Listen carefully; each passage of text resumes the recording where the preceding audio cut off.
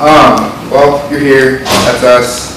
Uh, if you're looking for the bathroom, the men's is like behind the elevators, which is always confusing to me. Um, yeah, I'm Michael Proctor-Smith. Um, I'm here, here. I'm really great at this, as everyone should know. Um, some Linux news, so have working model that whole MIT laptop thing, which is kind of cool. You actually spend hundred dollars on a laptop for the developing coun- world a screen that works in full sunlight and all kinds of fun stuff like that. Um, Did you hear, did you hear the statement where he, where where the, I forget the guy's name, the, but the guy behind that project explained why you need volume to make the project work? Did you hear, see that? no, Oh, he said he went to a, uh, uh, he went to a laptop, or he went to a uh, an LCD screen maker, and, or he met with, you know, one of their executives, and he said, you know, now, he said, you know, he said, you know, because of our price goals, you know, we can live with a couple of dead pixels, we can live with this and that and the other thing, and the guy said, well, I'm sorry, but, you know, our strategic vision is we're gonna be making everything with, you know, no dead pixels and this and that and the other thing, and the guy said, hmm, that's too bad, because I need hundred million of them. And the guy said, we might be able to change our strategic.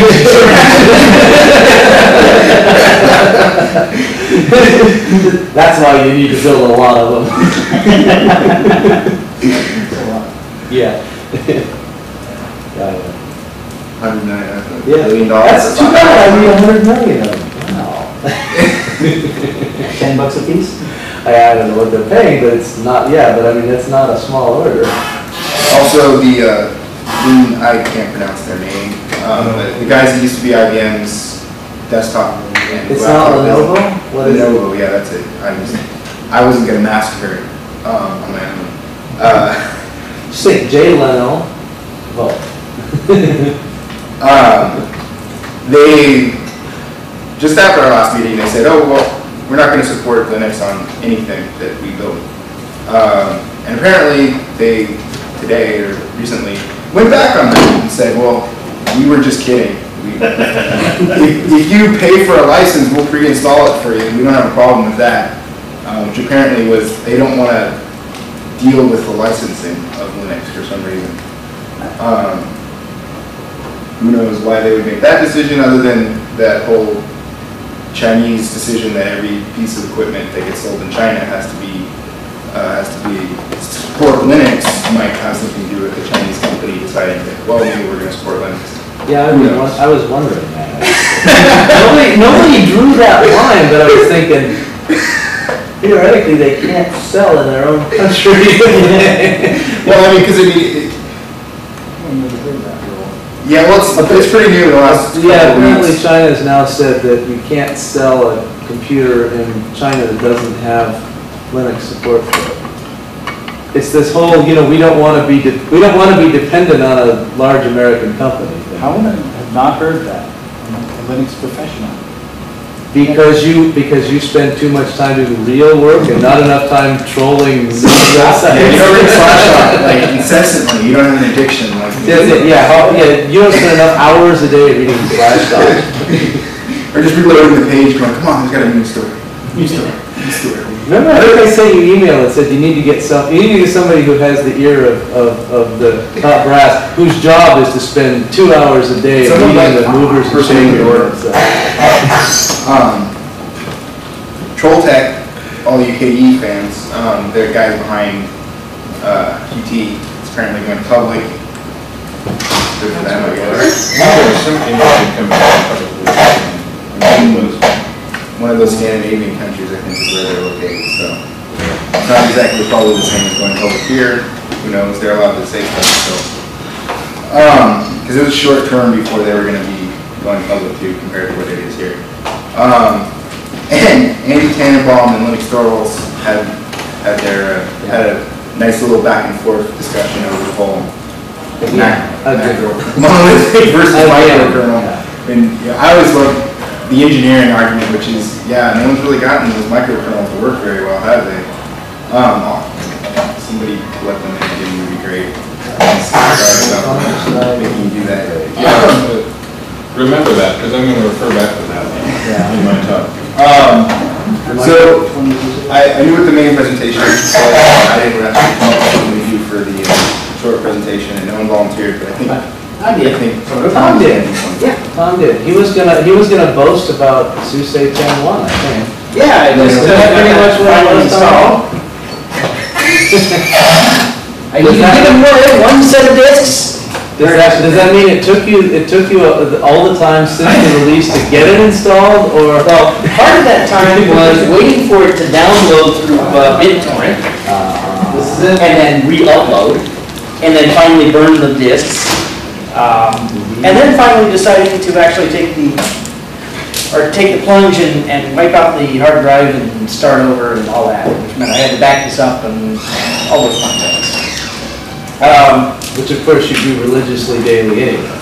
Yeah, right, that was the Windows partition. Actually, the other part of it was that Windows itself had finally completely died on the system. I was getting the green screen of death where it comes up to just the first background and no icons ever show up. Anyways, uh, other brief item, I had this one that I got from the Pomona Computer Show. Um, They were giving away iPods as a, as a, come on to at least sign up with them. Linux Workshop, the only thing I realized after I got this home was that they have the wrong name for teaching Linux, and that is Gates College. I don't know, maybe they, didn't. maybe that's why they reduced the price, I don't know. Uh, but they're currently local here in Pomona. Um, they stress that they will not be learning how to use a GUI. You'll be learning how to use the command line. But I have this in case anyone wants it, they're in Computer Shopper magazine, they're fairly local. Anyway, so, as I was installing um, I took a moment to actually write down some of the neat things I saw on the installation list, of things that weren't defaults. And I came up with this one called ImageSeek. And something about the um, description of it caught my attention. It said, you know, well, how do you search for images? Like, say you wanted to find a spoon, a picture of a spoon. How do you tell a computer to search for a picture of a spoon? Well, turns out they have a very simple way. Spoons are kind of gray, they're kind of round, they have a handle, and you say, search for spoons. And there you got spoons! Plus, I did it go? Being choked? Okay, well, I happen to have a whole lot of other pictures on there, but it was kind of amazing that, yes, indeed, it would actually find things sort of close to what you drew. Wow, That was like, that's pretty impressive. If you drew it like sideways, you do it vertically? Yeah, erase that. Well, let's see, we have that around, sort of thing like that. We find the vertical spoons they have pictures of. Ah, so th- that's the limitations. You have to know the direct, the orientation of the object you're searching for. Um, Then you can click on it and we'll find more instances of similar objects. Ah. Are those other objects similar to a spoon? And how? Uh, Um, you Or- use a spoon to eat cheesecake? Now, my sister collects spoons and things like that. One of the other semi-nice things, um, if you drew a picture of a fashion model, huh? if you drew a picture of a fashion model. Yeah, unfortunately, that's a really tiny window and a really big pen. Um, but they also let you do things like import other media. Now, it turns out that one of the other things, I guess, this is mostly probably KDE.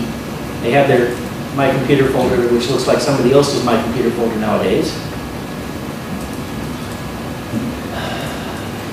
Which automatically pops up the fact that, hey, there's this new volume out there. And it's got pictures in it. And let's see if I have a good picture of this profile. That one? Yeah, not that one. That one's just a little blurry. He moved. Uh-huh, sure. It's the dog's fault, not the operator.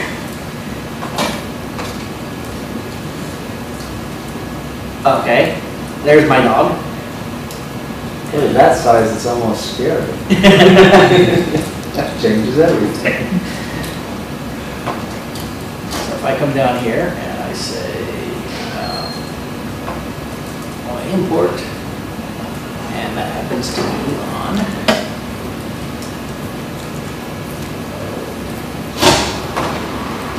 Media, domain, DSM, 100 Fuji, 1, next one. Yep. Oh, I see, search for other. You keep spelling it off to me. Those alternate spoons really kind of mess up your system. No, it- it- this is cash It's, what it had it's, it's before. pre-programmed for, for computer users, no matter what you type in, it always hits the cheesecake. You know, I think you're, you're, you're neglecting to remember what the picture, what most of these pictures are of. Yes, yes. Okay, I happened to find a really nice site. I use that for my wood, for my wallpapers. Okay? Uh-huh. Well, it's got this one that says, find a random selection. That works pretty good. Spoons. I'll never look at silverware the same way. Okay, um.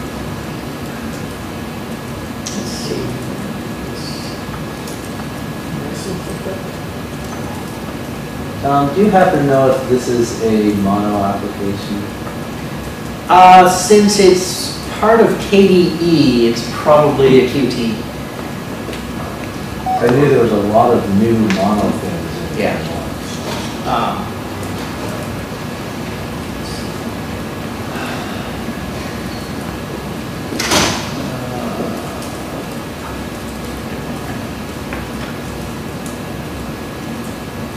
Uh, it turns out that I think it does um, mostly the average color and um, probably some primary shapes or, um, I I would say maybe a Fourier transform on on the image to see where the, the boundaries are, to look for a similar image. I don't know, the guy had, the, it turns Why out, you want to do a wavelet transform? yeah, it turns out that one of the other things it will do, actually, it lets you group things. So, I can't have these things.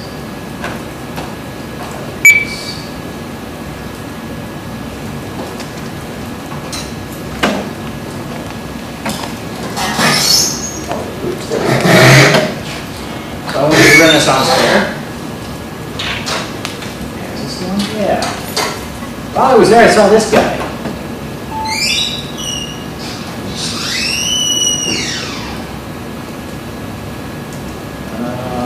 Uh, I don't know if you see him all that well.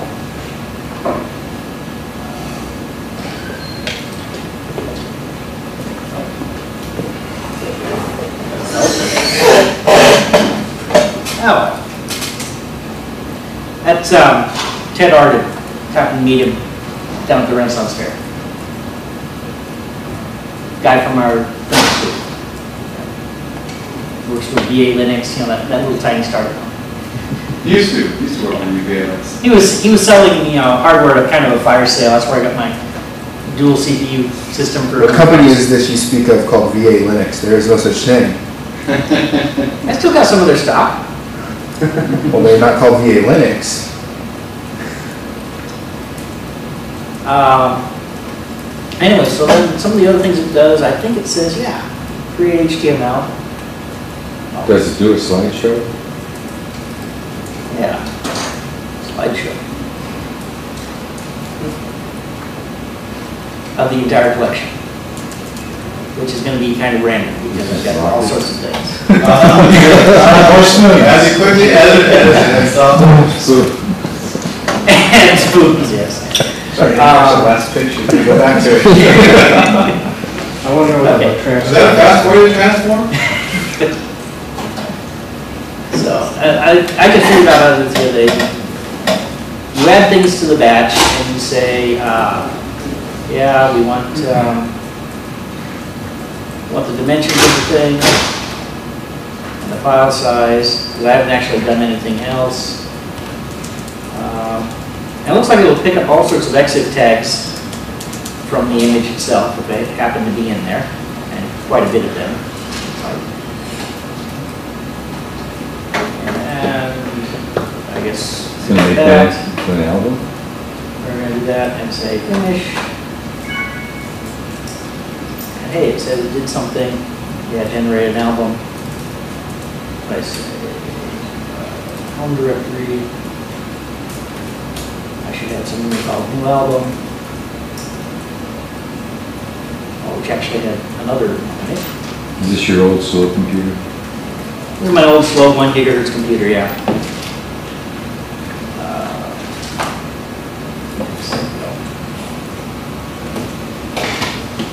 So it generates a web page, and when you click on Whoa. things, it shows the whole thing.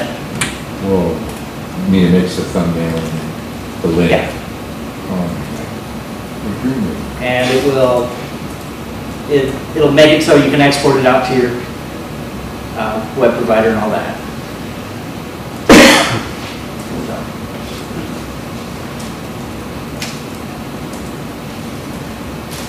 Lady playing queen. So that was some of the neat stuff that I happened to pick up in this, in this last batch. Um, Any thoughts, comments, or questions? You want to see some more of the cheesecake? Spoons. Just a nice pair of spoons. Is there anything in this uh, that Novell would have uh, put in, that that SUSE was, Well, had that's, some connectors? And- yeah, um, Novell basically bought SUSE and is now running the show behind our funding, I guess, behind Right, it. so you'd assume that maybe they were slipping something in, Well, there's Xen yeah. and, and all that, uh, which I haven't checked into yet. Um, But apparently it's a lot The easier to answer is install it. prob, if, if Novell wrote it, then it probably came from the guys that used to be with, uh, I forget the name of that company that Novell also bought, Simeon? Ximian, yeah. And that's why he asked about Mono, because they're the Mono guys too. Right. Um, so, Well, I know that there, I know that there were a couple of things now in, in ten one that pretty much if you use a desktop their way, you're actually depending on mono, which doesn't have, I mean, no one's needed mono for anything before. I think their desktops, I think Beagle's in mono, so, you know, since every, since everybody but me seems to have trouble finding their files, apparently.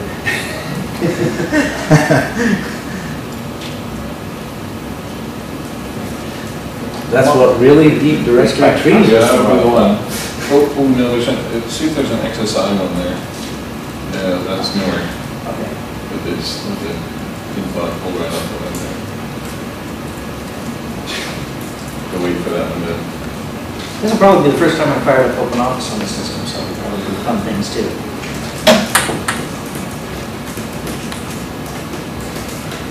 Um?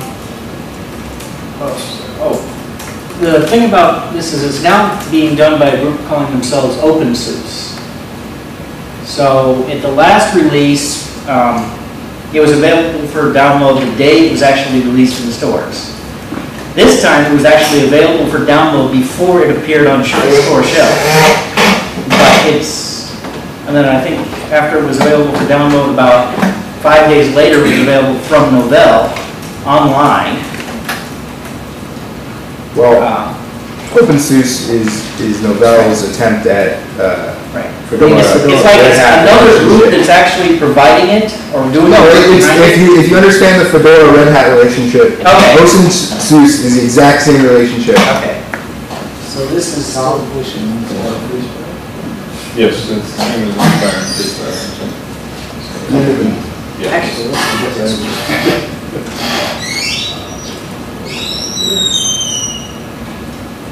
Oh, and by the way, if anyone that got here after I said it, there's no access point here, so that's open. It's not text, so if you're trying to get your network to work well, it's my fault, you can stop. You know, Mike, we'd fire you, but then we'd have to find a replacement. So you're totally safe. Congratulations, Dustin, you've been elected. No, what's up? See what I It never works. I keep trying to do that, and people are like, we should do this, and I say, you should do that, you're now in charge of that. if nominated, I shall not run. If elected, I shall not serve. That who? That Paulson.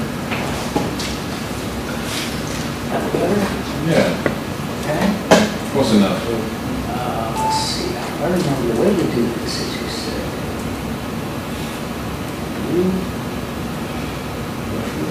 A little oversized. Right. Oh, that's what it was. Slideshow. Plus one. Just, just hit F9. Things have changed slightly since last time. Or F5. That's why it's set. They changed it. Run in a window.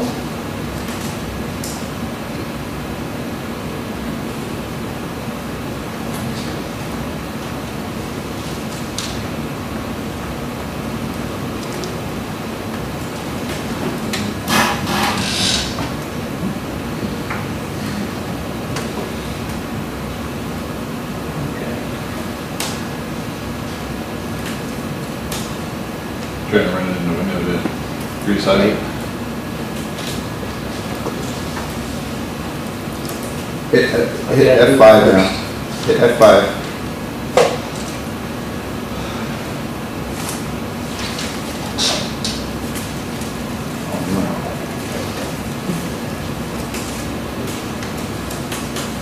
Where's the full screen? I know Slideshow. that, but there was a way of, of. You told it to run in window now, tell it to, Huh? You told it to run in window, now tell the slideshow to run. Right.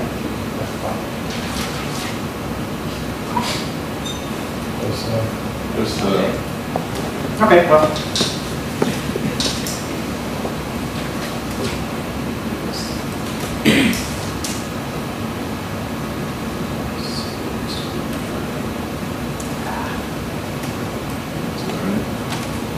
So will these windows drags faster for you?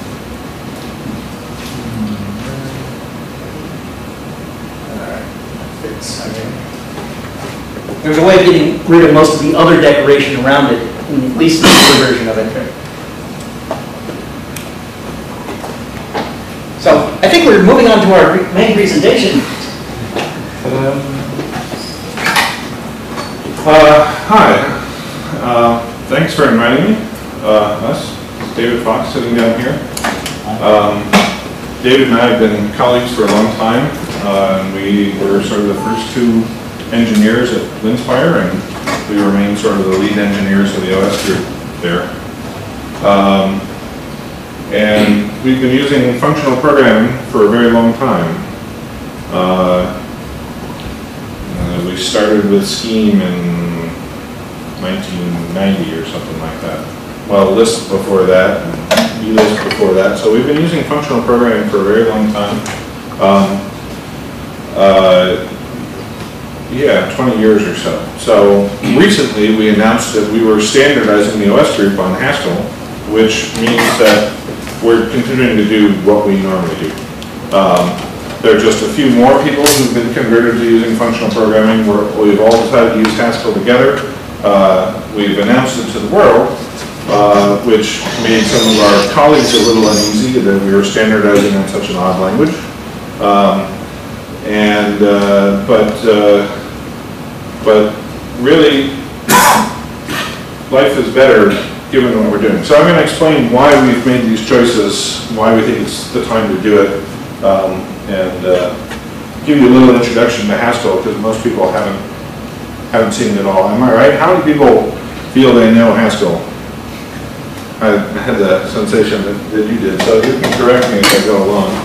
Um, I'm gonna, so I'm gonna give you a- an overview of what we do at Linspire, what our goals are, um, and then give you a sort of whirlwind tour, tour of Haskell to try and excite you. Um, and uh, then I'm going to show you what we're, what we're building with it. All right, so we're not focused on anybody in here, at least we haven't been till date um, at Linspire. We're focused on the consumer market and OEM installations, and Michael Robertson's original goal was to sort of pick up the whole Windows 98 market that was not willing to buy for XP.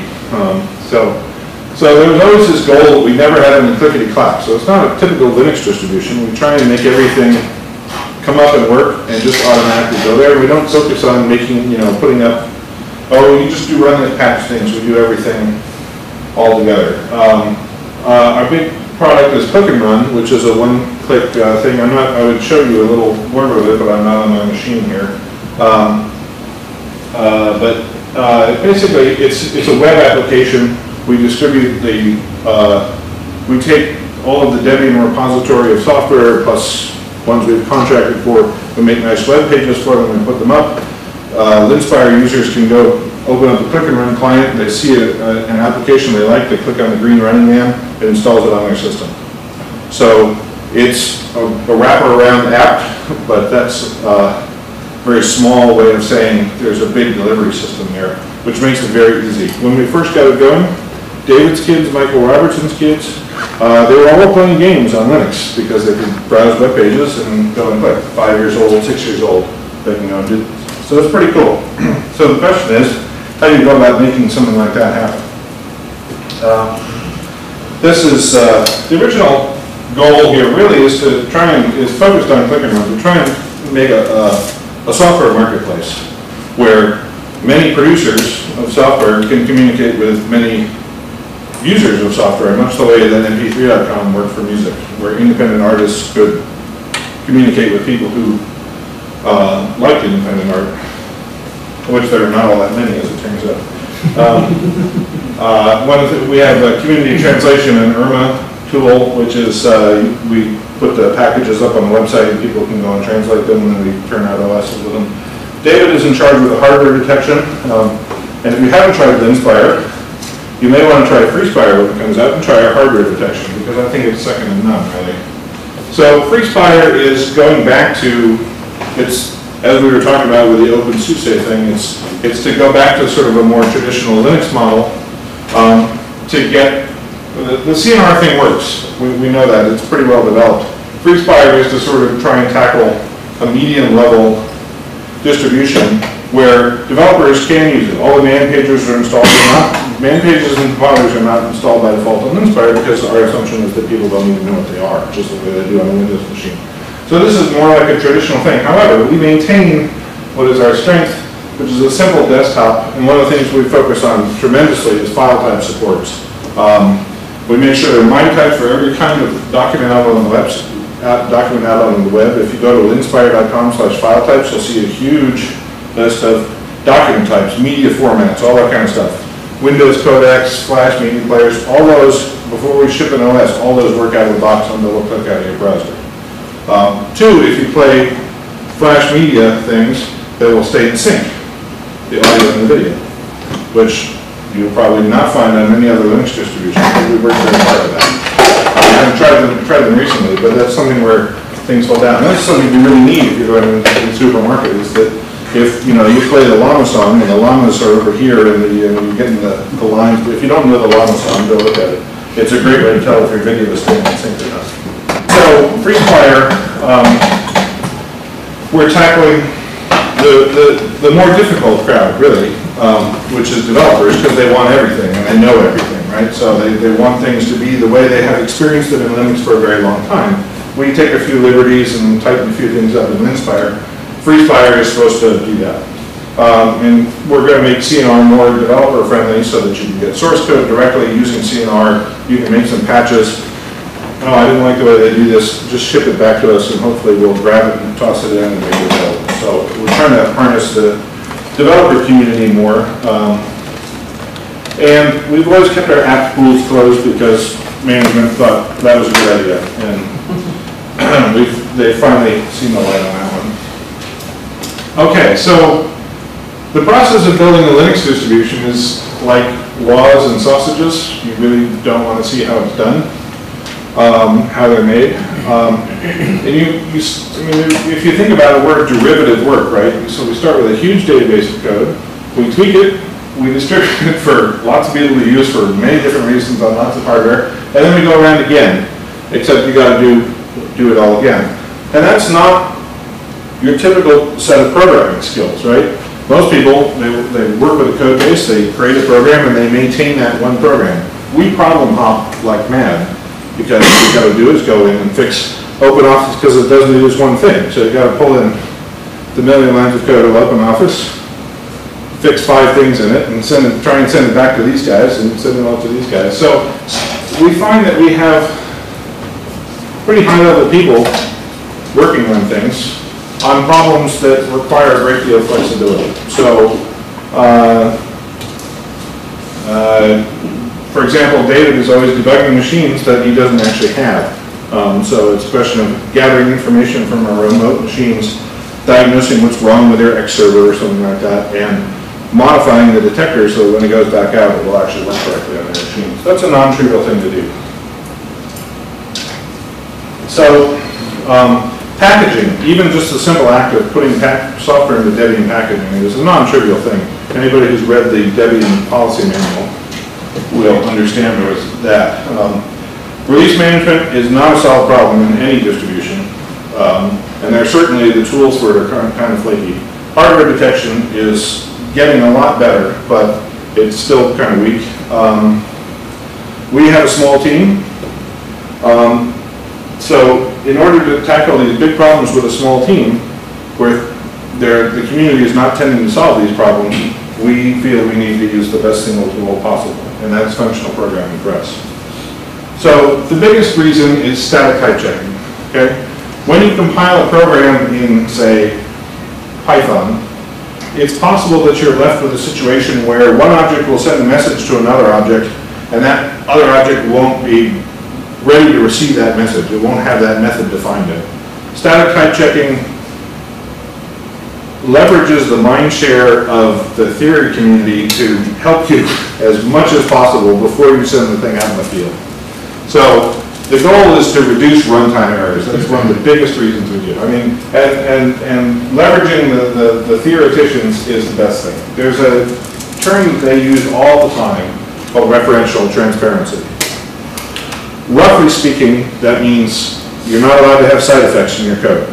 Okay, you're not allowed to write a function that does some I.O. on the side unless you say that function is going to do some I.O. on the side and you construct it in there properly, okay? So it's a little bit, it's a little bit sort of, you know, it's like putting on a, a spacesuit.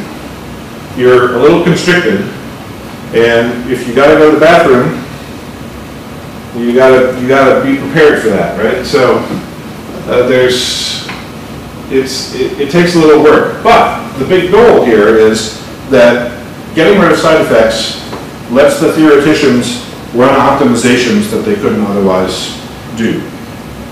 So for you in the compiler, and you have the, potential for parallelism out the backside. And as we've all seen with dual core processors coming around, it looks like quad core processors are right around the corner, exploiting parallelism is going to become more and more important. Um, we deal with a myriad of little, little languages and two-level languages. Python is a two-level language. Um, you have a nice interpreted environment, but as soon as you need to do something serious, you drop down into C++ and write some stuff there, and then you go back. And so you have this sort of dual layer kind of thing that you talk between there. Tcl/Tk did the same thing with C. There are lots of examples of that. Uh, you have little languages, awk, sed, these things which lop off a particular problem like text processing, and they try and optimize for that. Then you got to learn the, um, you know, the regular expressions for awk, the regular expressions for sed, and the regular expressions for Perl, which are all different. Um, and Perl is actually really quite does the best, but then it's kind of got its own crazy little space going on. Um, and it's just, in terms of data structures, you know, hash tables are fabulous, but going beyond that takes a little, quite a bit of work in Perl. So um, anybody who's really interested in this, John Hughes wrote an excellent paper, which is easily findable on the web, called Why Functional Programming Matters. So Haskell in particular, David has been programming in, in OCaml, Objective Caml for, for quite a few years. It's got a very fast compiler. We just forced him to switch to Haskell within the last few months, and it was, nobody likes being knocked off of their favorite tool, right? But on the way up today, he's like, well, you know, there's just something about Haskell that's just a little bit better, the libraries are better, the language features are better, it makes things much more, just that much tighter and that much more efficient. Um, it's got a long history. The most interesting thing to me is the Glasgow Haskell compiler was originally started at Glasgow University. Um, the researchers who now maintain it are paid by Microsoft and work for Microsoft Research. Um, there are there were a total of 80 proposals from students for um, Haskell Summer of Code. uh, projects this year, nine were accepted, and they're all on sort of core interest in Haskell projects. So, um, you can go to the IRC channel for Haskell, and there's almost, a- there's over 100 people on there almost constantly. So the community's growing, it's looking more interesting. Uh, okay, this slide doesn't have, I saved it in a format which I was sure that this open office would understand. Um, I started with top 10, and I did a strikeout on it, I went to 15, and I went to 20, and I stopped counting. So, um, there are a lot of wonderful features in Haskell, so here's the whirlwind tour, okay? Um, First of all, it's beautiful. It has this look and feel of being typeset. And this comes from, in part, um, well, it was a very conscious design of the, uh, conscious effort on the part of the designers to make it look like mathematics. It stems from mathematics, they want, they wanted to do as much as mathematical as possible. So it looks like mathematically, uh, like a good mathematics textbook, textbook. And they, part of this was they left out all of the curly braces and semicolons that you find in C. And so if you indent a little bit, I think I have an example, nope, I do someplace else. Um, if you indent, um, oh boy. That, uh, I know what's gonna happen, that next slide didn't say, well, it- we're gonna have to redo the thingy. Um, uh, So, but if you indent your code, uh, that's, that's fine, the code is not here. Um, It's on there. Yeah, no, there's, there's a figure there that's missing, because I didn't, because I didn't do the right one. Is this unmounted? Uh, should be working out now. Um, Oh, window, I think. well, your key, that is. Yeah. Your key is not, we're not running off of your key, right? Right. Um, I I moved it to our, Right, so presumably I can pull that key and, around this one.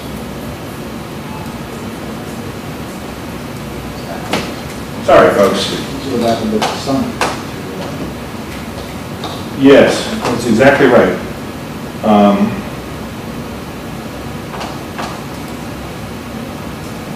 That the open office format does not understand um, Everything goes in one file. Well, it just doesn't understand certain, certain things. So it just, it says, uh, it just goes ahead and tosses them away. Uh, So let's switch to this one. Normally I would just, uh,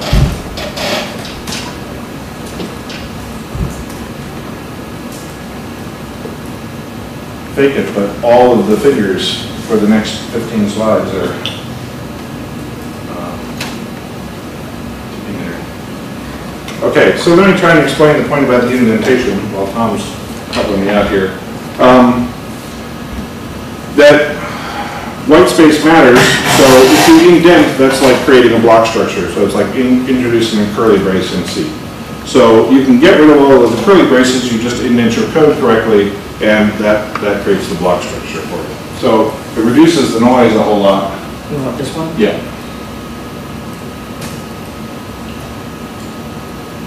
Uh, and that's, yeah, there you go.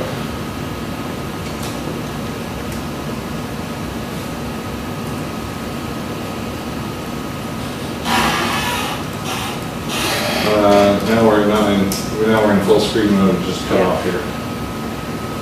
So, Trying to get Oh, get to to that the- page. yeah, that's,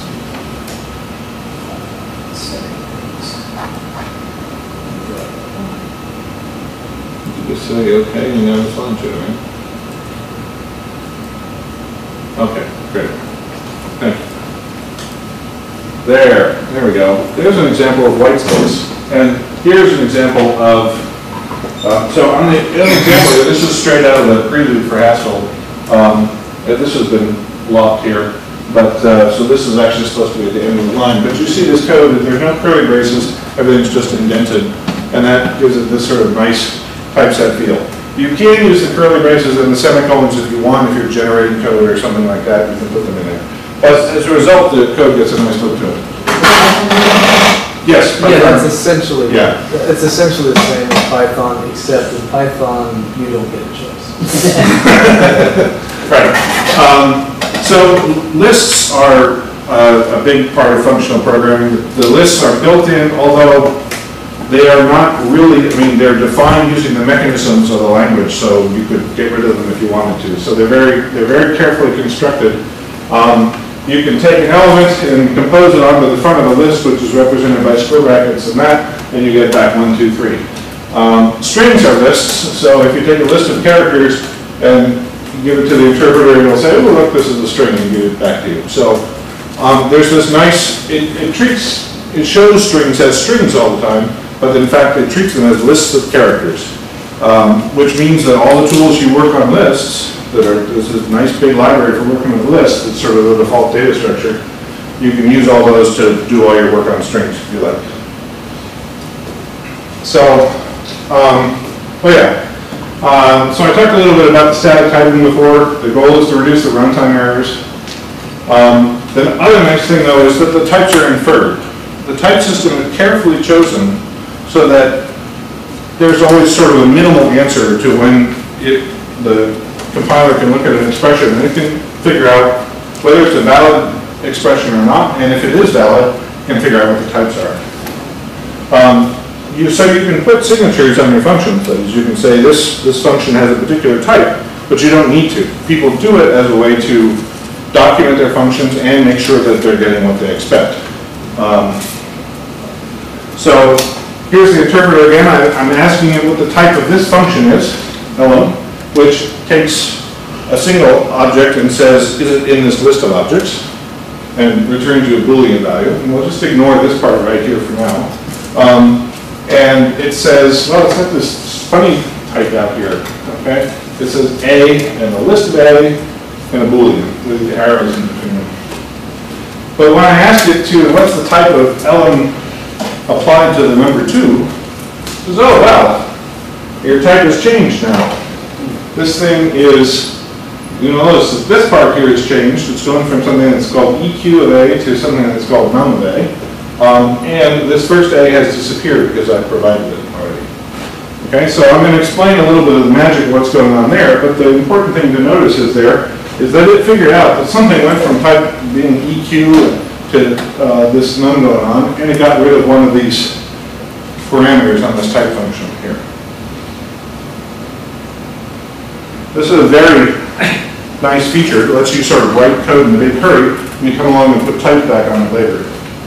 So what are those type variables, those, those A's in there? Those are type variables. Um, and here's a definition of a tree, and this is a type variable. So here's, I'm defining a new type called tree, and it can be a tree of anything, a tree of A's, right? So um, a tree of a, tree, a binary tree consists of a node with two trees of the same type in it, and or it can be a leaf with something of that type in it. So that's, I mean, what you would get from, you could easily define this in C as well, but the abstract, the, the algebraic data type description is quite nice and quite pleasant to work with. I'm not going to go over pattern matching in this talk, but walking over a tree like this is very easy with pattern matching and with the polymorphic types that are there.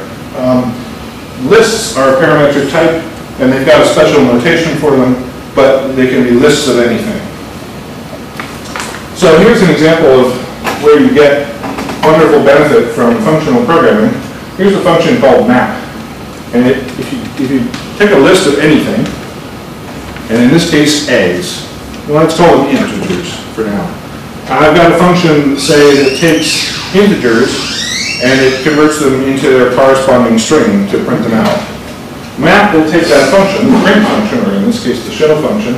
It, I've got a list of integers, and it'll give me back a list of strings. So let's see some examples of that.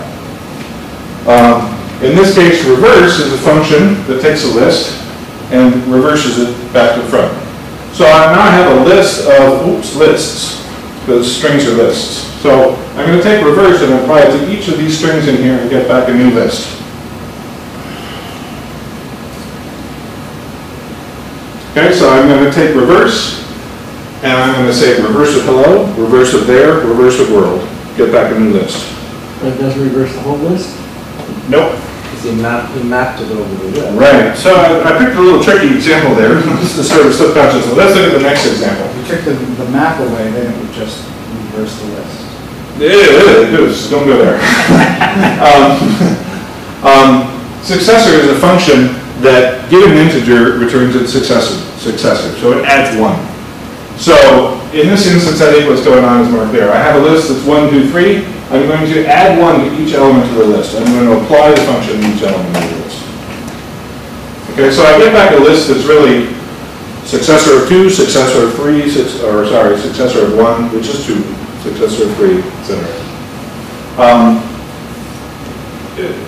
Learning Haskell in, in this format is really not possible. So, um, this is one of the things that's a little, the downside of functional programming is the learning, learning curve is a little big. It helps to have somebody sitting there working with you for quite some time. As a colleague of mine at work said, it doesn't really leverage the mind share that I've been building up for quite a few years. The C++ and all this other stuff he's been working on, things are very different here. And that's true. Um, but it's worth it if you take the time. So here's another function. Okay, a fold is, you've got a list of things and you've got an operator. Let's take the operator times.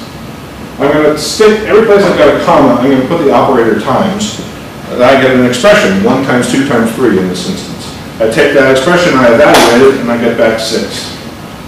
And in fact, this one right here is, it actually, it'll take one times two times three times one. So you can actually, you can give it sort of what's the zero of your, uh, algebraically speaking, the zero of your monoid or your group, um, and put it in there. Now, but you can think of that basically as just, you know, you got a big long list of things, you want to smush them down into one value by putting an operator in between each of them, that's what a fold does. And The Notice- reason, so the reason, the reason for that first argument is essentially to make it behave reasonably on lists with, you know, zero or one items something. One- Yes. Because otherwise, otherwise it doesn't actually mean anything. That's right. Um, there's also, there are also trickier uses of fold that are way more advanced, that, that you can start doing stuff with that value. But, um, but that is sufficient for now. Notice in all of this, the definition of fold doesn't know anything about integers. It simply is given a function, the operator times, and a number, and these guys, and it just goes off and, and applies that function. So you can write things that operate on structures that don't know very much about the types inside of them by using functions to sort of separate you from the, from the data, and handle the data. And that,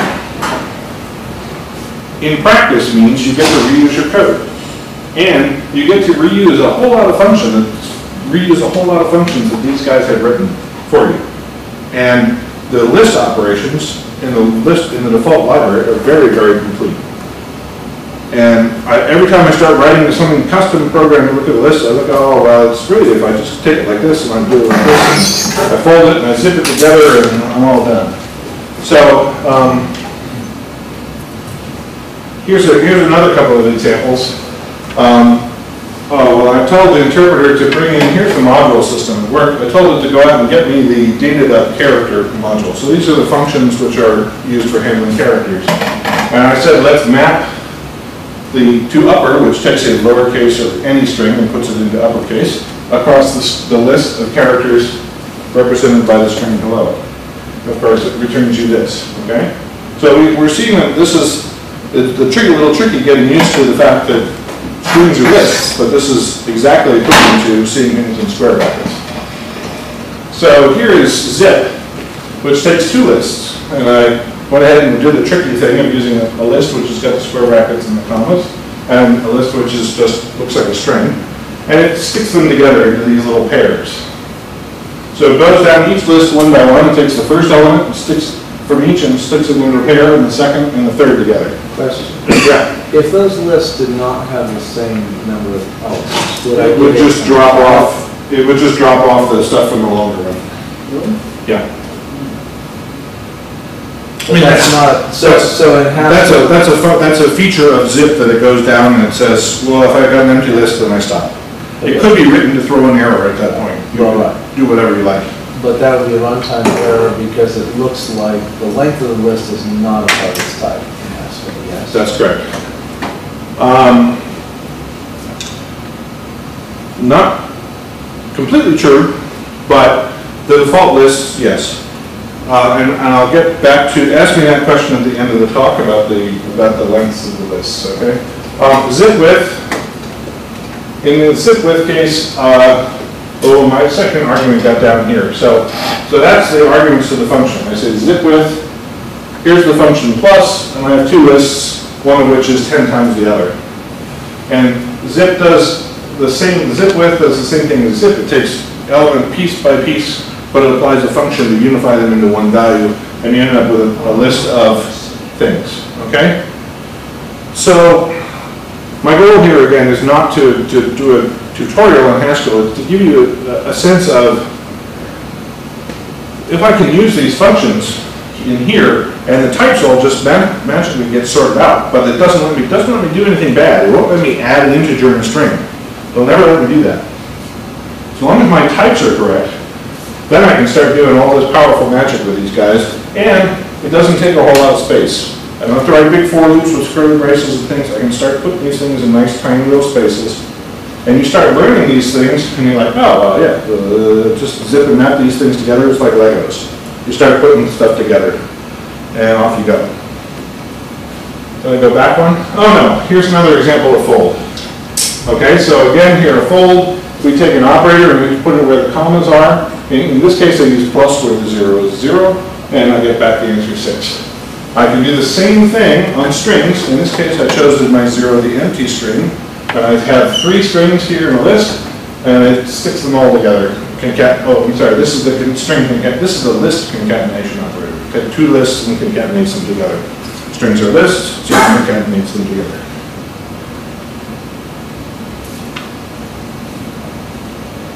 So you start developing techniques and you learn these techniques and this language has sort of, it's almost annealed to the point where these things are just so convenient.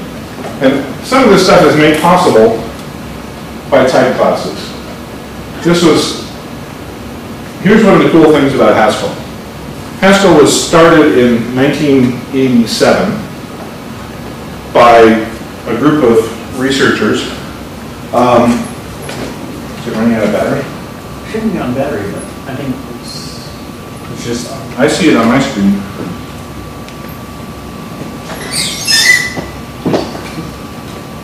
It's not a screen light, it's a video problem. oh, you know what, maybe the projectors has been running long enough, that it doesn't want to run anymore. Overheating. Also check the simple things, like make sure the plug is still. like- Do you have it, is the light on, Tom? No. There's just one red light on, on. Then it went to sleep. I didn't disturb the cord, did I? No.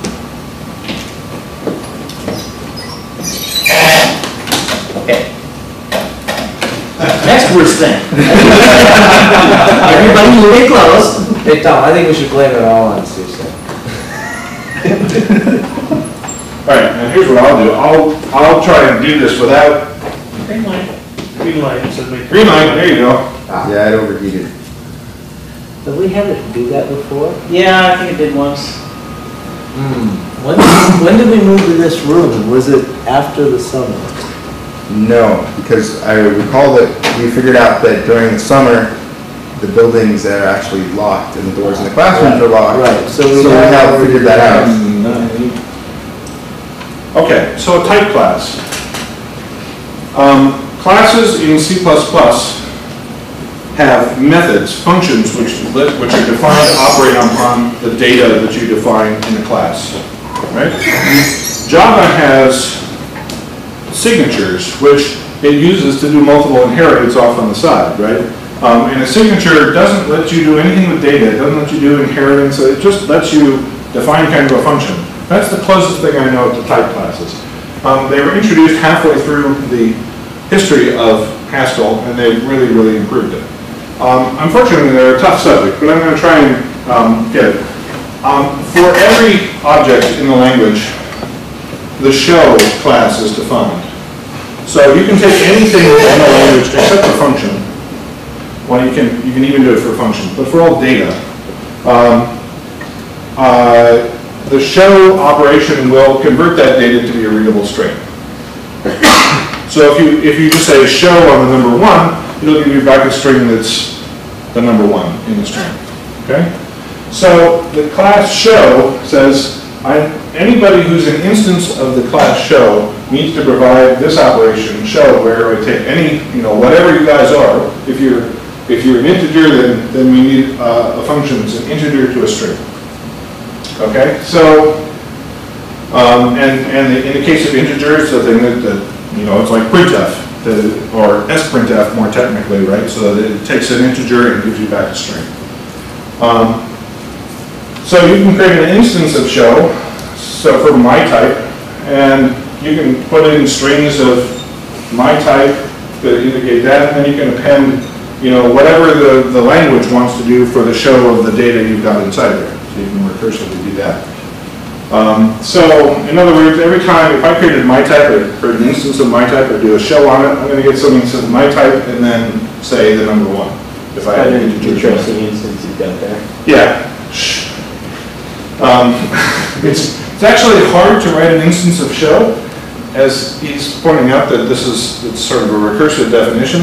Um, But this is the, this is actually the definition that the language will derive for you. You can actually create a class, uh, a data type, and say, ah, just derive me show, and it'll make one up that's more or less like this. Um, And so the busy work of, you know, ah, I've got to make a printout of this rep, of, out of- of this data structure, I've got to write some code to print some stuff out, you can just say, derive me show, and it'll give you a reasonable representation of that. That almost looks, that, that recursive definition almost looks like a uh, call to super. Yeah, Yeah. more or less. Um, It's, trying to think but it's, there's no, there's, the, the, you want to get out of your mind, the C plus plus took the data Well, the C++ doesn't have call to super, I'm thinking of more like Objective-C or something. Well, all right, Have access to, to the previous method that I'm about to override. Right, well, it- it's, I don't like that, Okay. I don't like that representation, it's more of a recursive thing. I want to show a tree of integers, here's how I show a tree, integers know how to be shown, I will recursively call the show for integers, okay? And that representation is much nicer. C++ is, is left me rather scarred, I think, but, um, and one of the reasons the type classes are so lovely is they separate the data from the methods. You don't have to, you don't have to define your block of data and then the methods on it at the same time. You just define what the methods you want to be. And later on, you say, well, hey, this thing should be an instance of that class, and I'll show you some examples here in a minute. Um, and then you can define what the, what that glue should be that puts the two together, okay? Now, how do you use type classes? Um, I, you saw earlier that I changed the type on something with the enumerators. This funny syntax right here, takes a while to learn how to read. But what this says is, if I'm given an A, and it's an instance of the type class ordinal,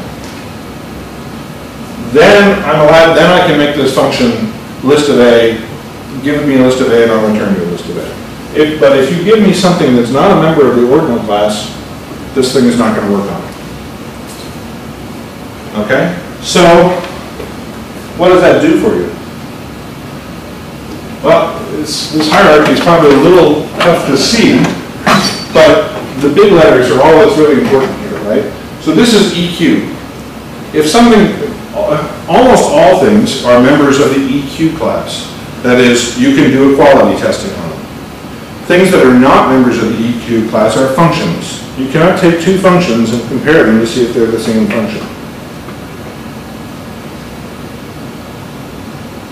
Yeah, you might want to think you could, but, but theoretically you can, right?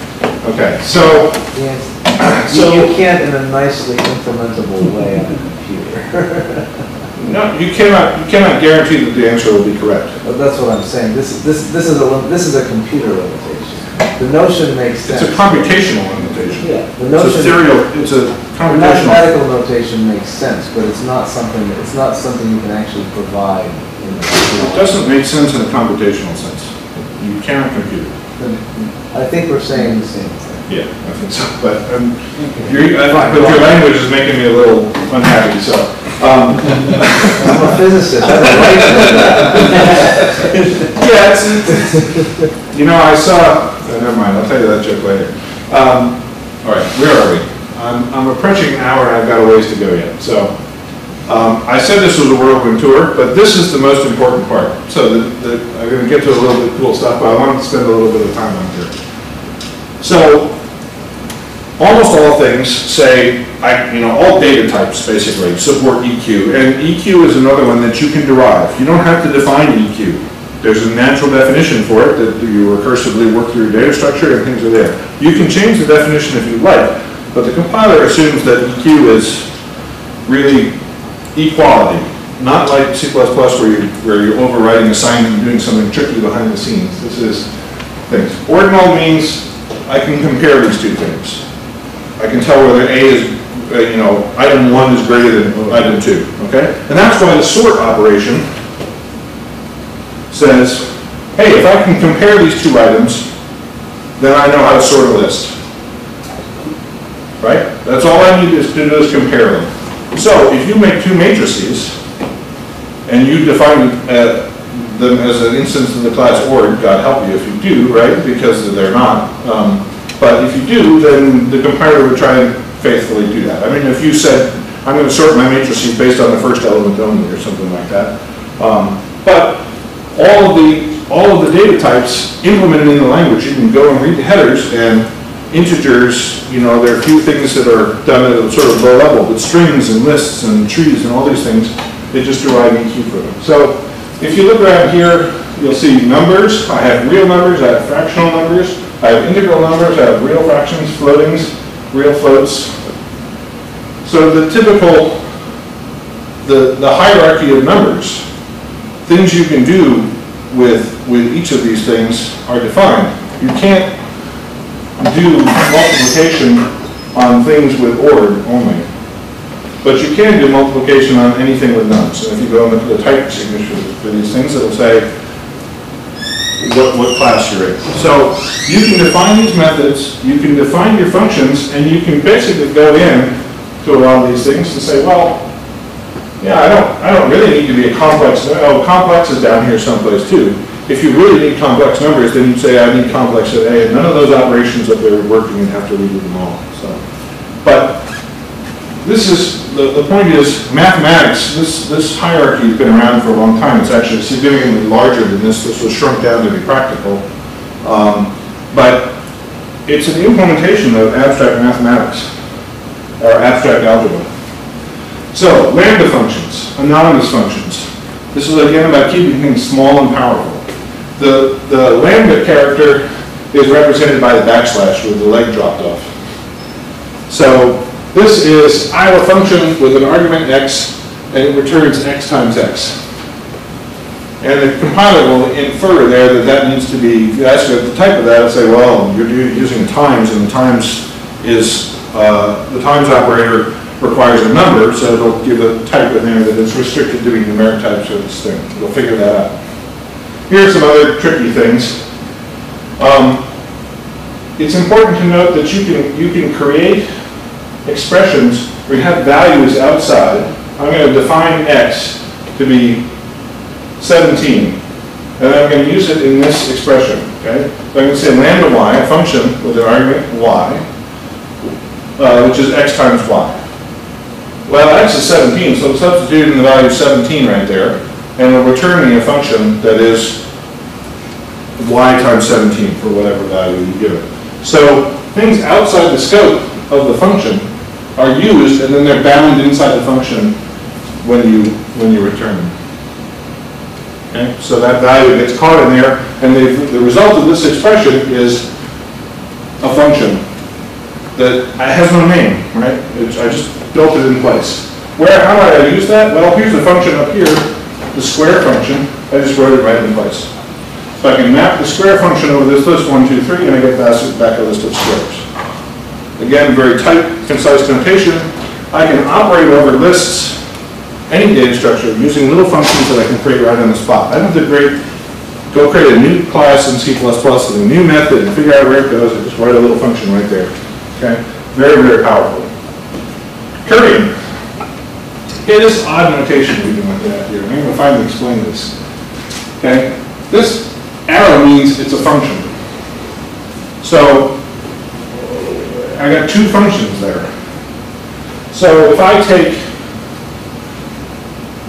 um, a function of two arguments, in Haskell, it's, you, you change it into a function that returns you another function. So I've got a value, and I, I return a value which is something of type A arrow A. So it's another function. So basically, instead of saying, you know, as you would say in C, I got four arguments, and then I get a return value back, in Haskell, it would look like you have this five things strung in a row with these arrows in between. Let's see how that's kind of useful. Um, so I've defined the function f here, which is, takes two numbers and adds them together. Right? It's got two arguments, x and y, and adds them together. And see the type, the compiler or the interpreter has figured out that I've used the operator plus, and that refers to numbers, and so it's figured that out for me. So now I take f and apply it to one argument. And I get back a, something that is a function that takes one number and returns me another number. So I can create functions that by just giving an argument to one function, it'll, it'll do a little bit of computation and return me a new thing, which is also a function. So let's see, see how that's used. Um, I can say g is f of 100. Okay, then g is a function. I can apply it to 7, and I get back 107. It's a little mind-bending. It's not something you find in any other language, really. Um, but um, you can see it very nicely in sections, which are exactly this idea of curried lambda functions, but with operators. So I have the operator plus, and I can say plus 100. Well, that gives me back a function of one argument that returns another argument. So if I take 100 uh, plus 100 and I and I give it the number 7, it'll return me 107. Okay, so it's a little tricky, um, but 100 plus is exactly the same as lambda x is x plus 100. So it's it's if you want to say multiple, you want to double everything in the list, you say map times 2, apply everything in the list. You're done like that. Non-tutorial, but a very cool thing. Another nice little syntactic feature, you can take any function, here's elem, which, which is as if this thing is an element of this list. Um, and if you put it in backticks, you can use it as an infix operator instead of a prefix operator. So you don't have to go defining crazy punctuation to make new operators, you just stick it in there. So, You can write mathematics where your mathematics is words that you use and you can write infix expressions for them. so if, if elem took three arguments, uh, would, would it take one and two, or does this not work? Well, if you took three arguments, you'd, you'd apply two, You would apply two and you get back a function. yeah, and you need to. In other words, it curve. Yeah, you need to structure that a little bit differently, but yeah, you could do that. Um, Okay, so here's, here's something that's a little hard to explain, but man, once you get used to it, you never go back on this. All of this stuff has been leading up to, these type classes, type inferred, all this, being able to curry functions, put them on, this lets us stick them all together. So here's a lame symbol. This is the dot, okay? It should be the little circle that goes in between functions in your math textbooks. But they picked a dot. Um, And this is, the type signature is very difficult to read. It's not for me now, but when I started out, it was very difficult to read. But basically, I have a function that starts with one type and gives me another, okay? And now I've got another function that I want to pick up the result of that and give it over here. That's what function composition is. So I've got one function that goes from A to B, one function that goes from B to C, and I want to stick them together so I get something that goes from A to C. Like a pipe. Yes, exactly like a pipe. Except, unlike pipes in Unix, which are of one type only, this thing will let you change the types and do correct type checking for you. But there's a great deal of discussion on how to make something that will replace something like Bash, which is enormously effective, but in interactive and all these things, but using these things, and people are, are beginning to break down that sort of thing. That's one of the things we're very interested in, because we, I can give you lists of things where Bash is just the right tool to use, but it's a nightmare. Okay, so here I take two functions and I compose them, I put them on zero, and I get back an answer. And that's, this is cosine of zero, sine of cosine of zero. Okay? Here's a, uh, this is David's favorite one, and it's called consperse. Um, it's a little tough, but, okay, so I've got a string, which is the list, right? Make me a frog. Words takes a string, and it looks for spaces, and it breaks up a string by spaces, and so I got, now I've got a list of words. Intersperse says, take a list, and everywhere we've got a comma, add a new element where I'm going stick this in between. So now I've got a list of words with commas in between them, but the commas are strings in that word. Well, cat takes a list of strings and put them all back together. So here I've taken a space-separated string and I've put it into a comma-separated string using only standard list operations and functions. So, wow. Suddenly, you go from looking up the operation that might do this in a big long library. I mean, you get the kind of, you get the kind of behavior that Perl has with strings and just anything you want to do with a string, you can figure out how to do it in three seconds, if you're willing to learn Perl, which I was at one point, but I'm not anymore. Um, so, like I said, Lego, let's just put these things together using standard operations and off. Um, I would be remiss if I didn't tell you about lazy evaluation. Take, we'll pull the first five values off of the list. But here's a list of one to a million. Here's an infinite list. And it just gives you the right answer back. Okay, so how does that work? Well, the compiler does something called by need, or call by name. So when you, when it, when it goes and it says, "Oh, I've got a list, this list of one to a million, uh, I guess that's a hundred thousand there, um, it doesn't actually go and fill out the whole list. What it does is create a function, which when you ask it for the head of the list, it'll give you the head of the list. And in this instance, it, this is a predefined construct, it knows, well, I've just gotta give you all of it in order, so I'll just make a little function that adds one and returns you the value. So there's some overhead associated with laziness. But on the other hand, you can get out of certain things and you can do some really cool stuff with it. So here's another construct. This is the Fibonacci series. So this is Fibonacci series represented as a list. So we start with two values, zero and one. Those are the two seeds of our Fibonacci function. The colons say concatenate these guys under the front, the front of the list, okay? Well, all of a sudden, we run out of values and we start getting into this thing. So this thing, square bracket, some expression, a vertical bar, and a square bracket, is a list comprehension. And you see these in Python as well. Um, so what it, this is directly taken from your math textbooks. Go look at any textbook and you will see curly brace, they define the set as the set of all x such that x is an element of this set. Exactly what this is. So you could replace this with curly brace, vertical bar, this is an element, and that's, it's designed to represent that. But it's really a tricky little list operator. But let me just show you that this thing is defined in terms of itself,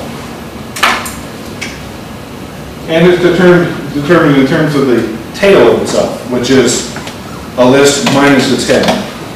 You take the, take the head right off and give you the tail and that. Well, so a Fibonacci series, if you imagine two infinite lists, right, and you, you add them together piecewise, if you set those lists up together correctly, then you will get a Fibonacci sequence.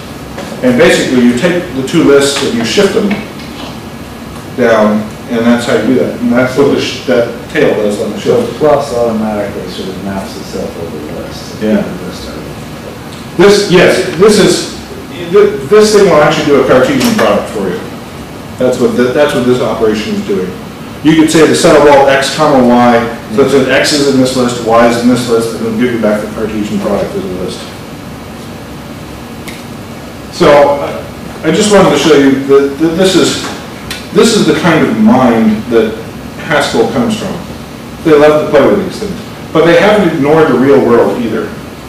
Incidentally, that's not quite stated at Haskell yet, but, um, they haven't ignored the, the real world, and that's the most important part, um, IO monads. So the downfall of all functional programming to date has been, IO is not a value, dang it. So they turned IO into a value. And This again happened about five years after they started the language.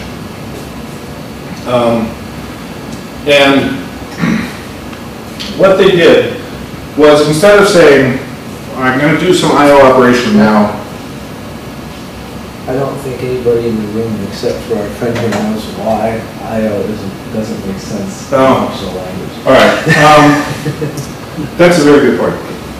So let me, let me try to explain that.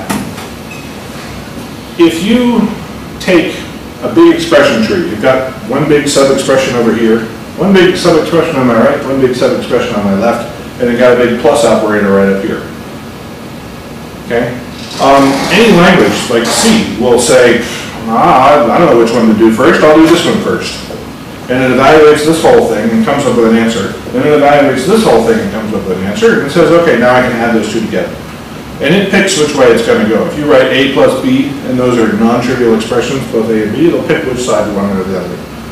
If you have side, side effects going on there, they happen in any order it wants to happen in. Whichever C picked to do A or B first, that's when those side effects will happen first. Been like reading, side effects mean reading things. Meaning reading or writing or changing the value of a state or something like that. So, um, the, the definition of a function in mathematical terms is, it should always return me the same answer for the same inputs. If you're doing I.O., that's not true. A function like getLine has no inputs, but it always returns you a different answer because it's coming from the outside world. So what we've actually done is, well, you see there's no arrow in here, so in fact, getLine in Haskell is not a function. It's a value. And it's a very specific type of value which the compiler knows about and the type system knows about. And it's designed to say, hey, what I am is something which in the outside world, when you execute me, I will give you a string back. But it doesn't actually happen now. It- What, what you do is you write an expression that says, oh, I need to evaluate these things. And you, the expression syntax orders what goes on. It's, it's a little, it's, it's kind of tricky stuff, but, um, in fact, it's the hardest thing to learn about Haskell. Uh, but it's actually fairly interesting to put them together. So, oops, I didn't change this. This should be get line and this should be put string. The whole point here is to take IO and represent it as something mathematical. You do this all the time in your programming. You, you use monads all the time in your programming, in effect. So for example, when you open a file, you get back a file handle, right? And you give a file handle to the uh, get character function, and it reads that file handle and gives you a character back. And that, you could, if you weren't careful about how you set things, you could read the character first and then open the file handle, right? And, and if you do this in C, if you try to put the file open right next to an ampersand, ampersand, like if I succeed in opening the file and then, then read the character, C may try and do the wrong thing and generate an error because it will try to do, it may evaluate the thing on the right first, which depends on the thing on the left, but you didn't say that. I agree, it won't do it for and Well, yeah, all right. No I'm trying to, I'm- but the point is, the point is, this thing gives you a string, okay? This thing takes a string and gives you back something which, when executed, will put that string out onto the outside world. And then you put them together like this, and there's no way, there's absolutely no way to get at that string without using this operator. Okay, so somebody just de- defined monads in terms of spaceships. Okay, so the big bad space out there is the IO of the world. And if you're in your spaceship and you're an astronaut, you can take off your spacesuit and you're in good shape. But if you want to go from one ship out into space and into another, you've gotta put on your spacesuit. You've gotta put yourself in a box and send yourself along in a spacesuit before you, and then you go into that other ship, and then you can take off the spacesuit, and then you can do normal computing. But as long as you're outside in the IO world, you gotta be in this box, which is called an IO. Okay? So, it takes a while to learn how to use, it takes a while to appreciate why you might be doing it. But, here's the key thing. The type system is enforcing the sequencing of IO. You basically have to explicitly say where you're doing IO, and you can never get around that. And then what the compiler gets is a whole bunch of values that it knows how to deal with. Some of those values are things which will do out, uh, which will do uh, output to the outside world. Some of the things will do state transformations. So um, the, the, the monads do all things, deal with all things that encapsulate state either the outside world, because the outside world is a state in itself, and if you got a string, then you have a string and a new outside world, which doesn't have that string on it anymore. So it takes care of all of that. And it's very nice because then the guys behind the scenes with the magic of the compiler can start changing things around. And if you change your definitions a little bit to allow for parallelism, then you can do all the I.O. you want, and it can figure out where parallelism needs to be happening. A difficult subject, like I said, not a tutorial. Uh, I saw a question back there, but I'm, al- I'm almost done here, so let me go through and. So laziness works in the I.O. world as well. Um, there's some syntactic sugar for working with I.O. monads.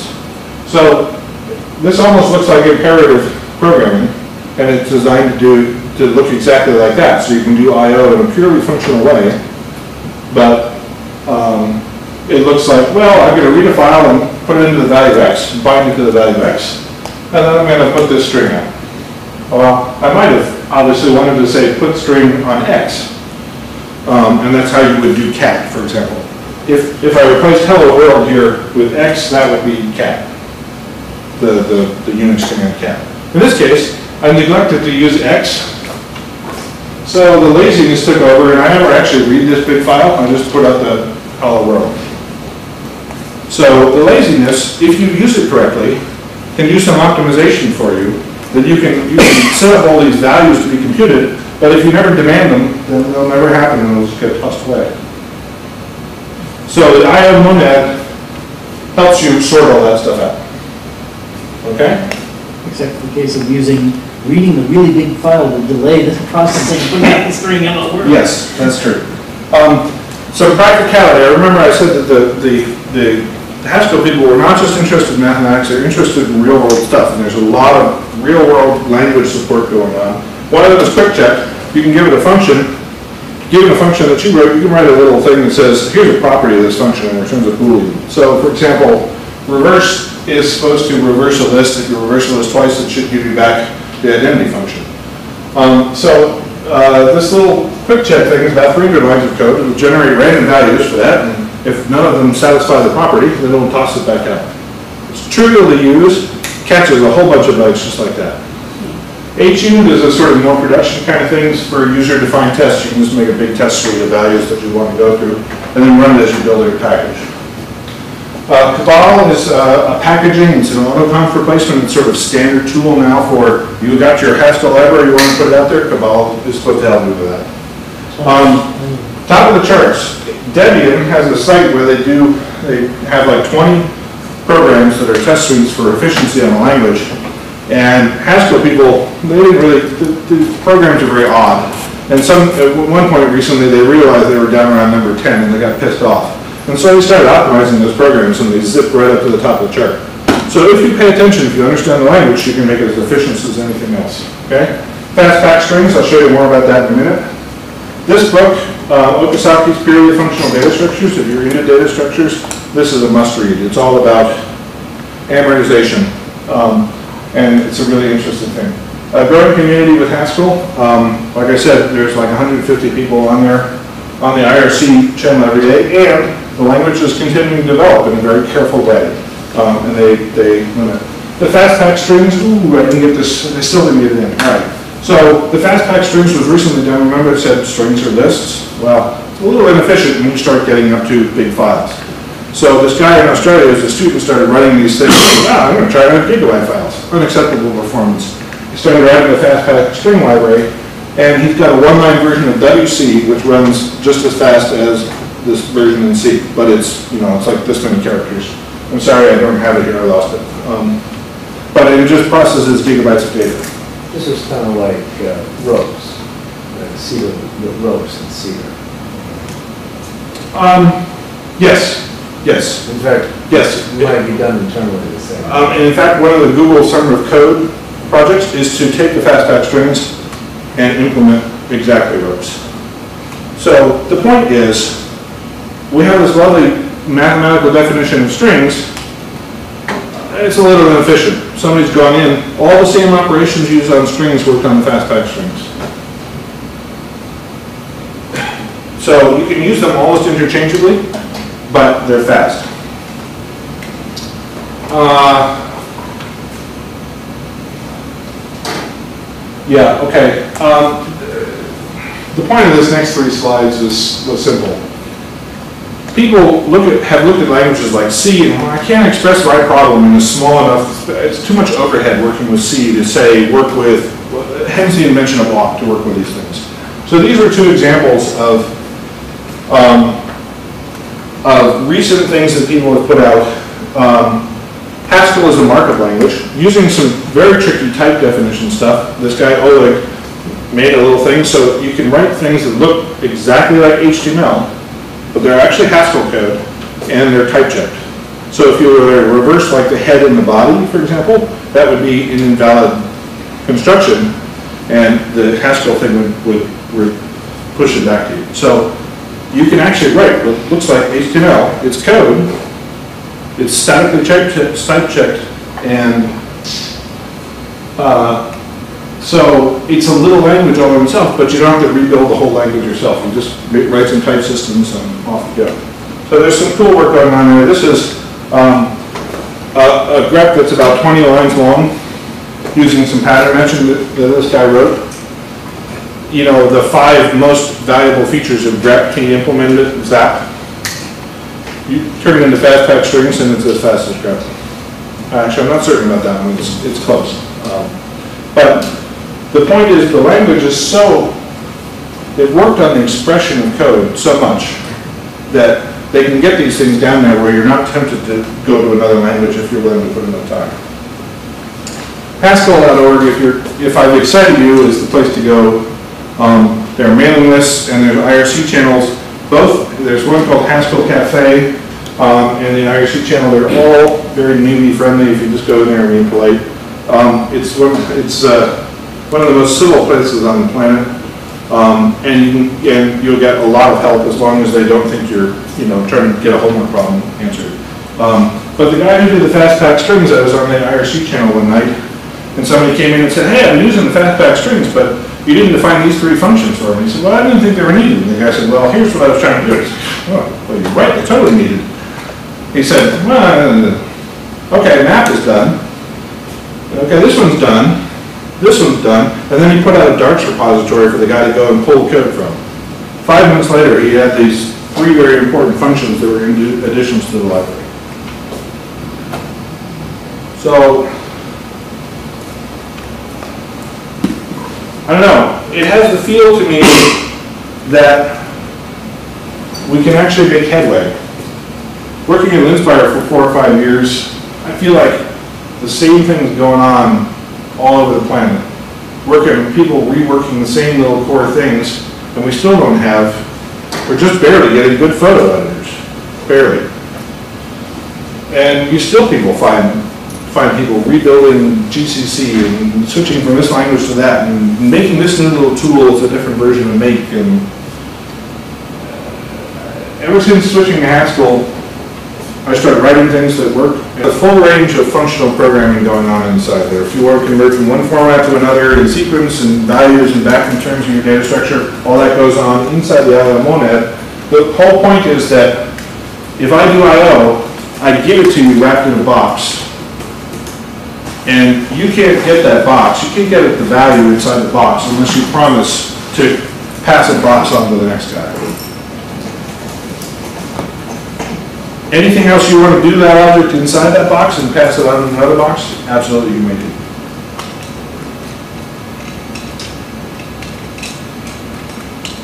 I'm not sure I've completely understood where the misconnection is there, but, but, yeah, no, it's, it's, it's very deterministic and very powerful, and there's no, there's no randomization there. I guess, for instance, if I were reading a file of numbers, Yeah, how do I get a number out of this string? Um, well, I mean, one way is to, I mean, you, you, your parser would return you IO strings. You would make a function which took a string and converted it to a number. Return dot read. Uh, yeah, there's actually a function, um, I don't have, I don't have my interpreter on here. Um, uh, there's a function called read, which is the inverse of show, basically. So show takes an integer and gives you a string back, read will give you, um, a, a string and give you back the value. So you would compose, you would, you would compose get string and you put it in something in here, um, and actually, this is what, this is what this thing does. Um, the, the return function lets you take something and put it back in the box. Are are you then back at runtime checking? No. So- Well, I mean, yeah, yeah, you can't have to, you can't do static type checking on, on data that's out in the world.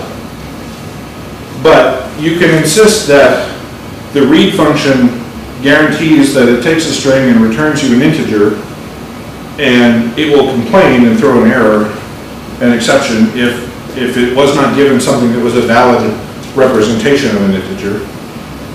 Um, and after that point, it guarantees that it will only return integers and off you go from there. But, okay, but to some extent, I think the confusion, I'm guessing, is because your example was about strings, because they're important. I mean, you could do, bi- I assume you could do binary IO in Haskell. Yes, yes. Right. Yep. So I think the point is, is that he was talking about strings because they're kind of common and important, but he could be pulling other things out of, out of that. I mean, not that I actually understand these things, but the problem they're trying to solve has nothing to do with strength. The problem they're trying to solve is that the same value doesn't come back. So even if you're doing binary IO, it's just different binary strings come back. You're still, you're still getting characters. So I- I'm, I'm trying to look at this and compare it to C or C++ and see where some of these concepts actually leverage into things just working, and it seems as though you're dealing with the same types of problems.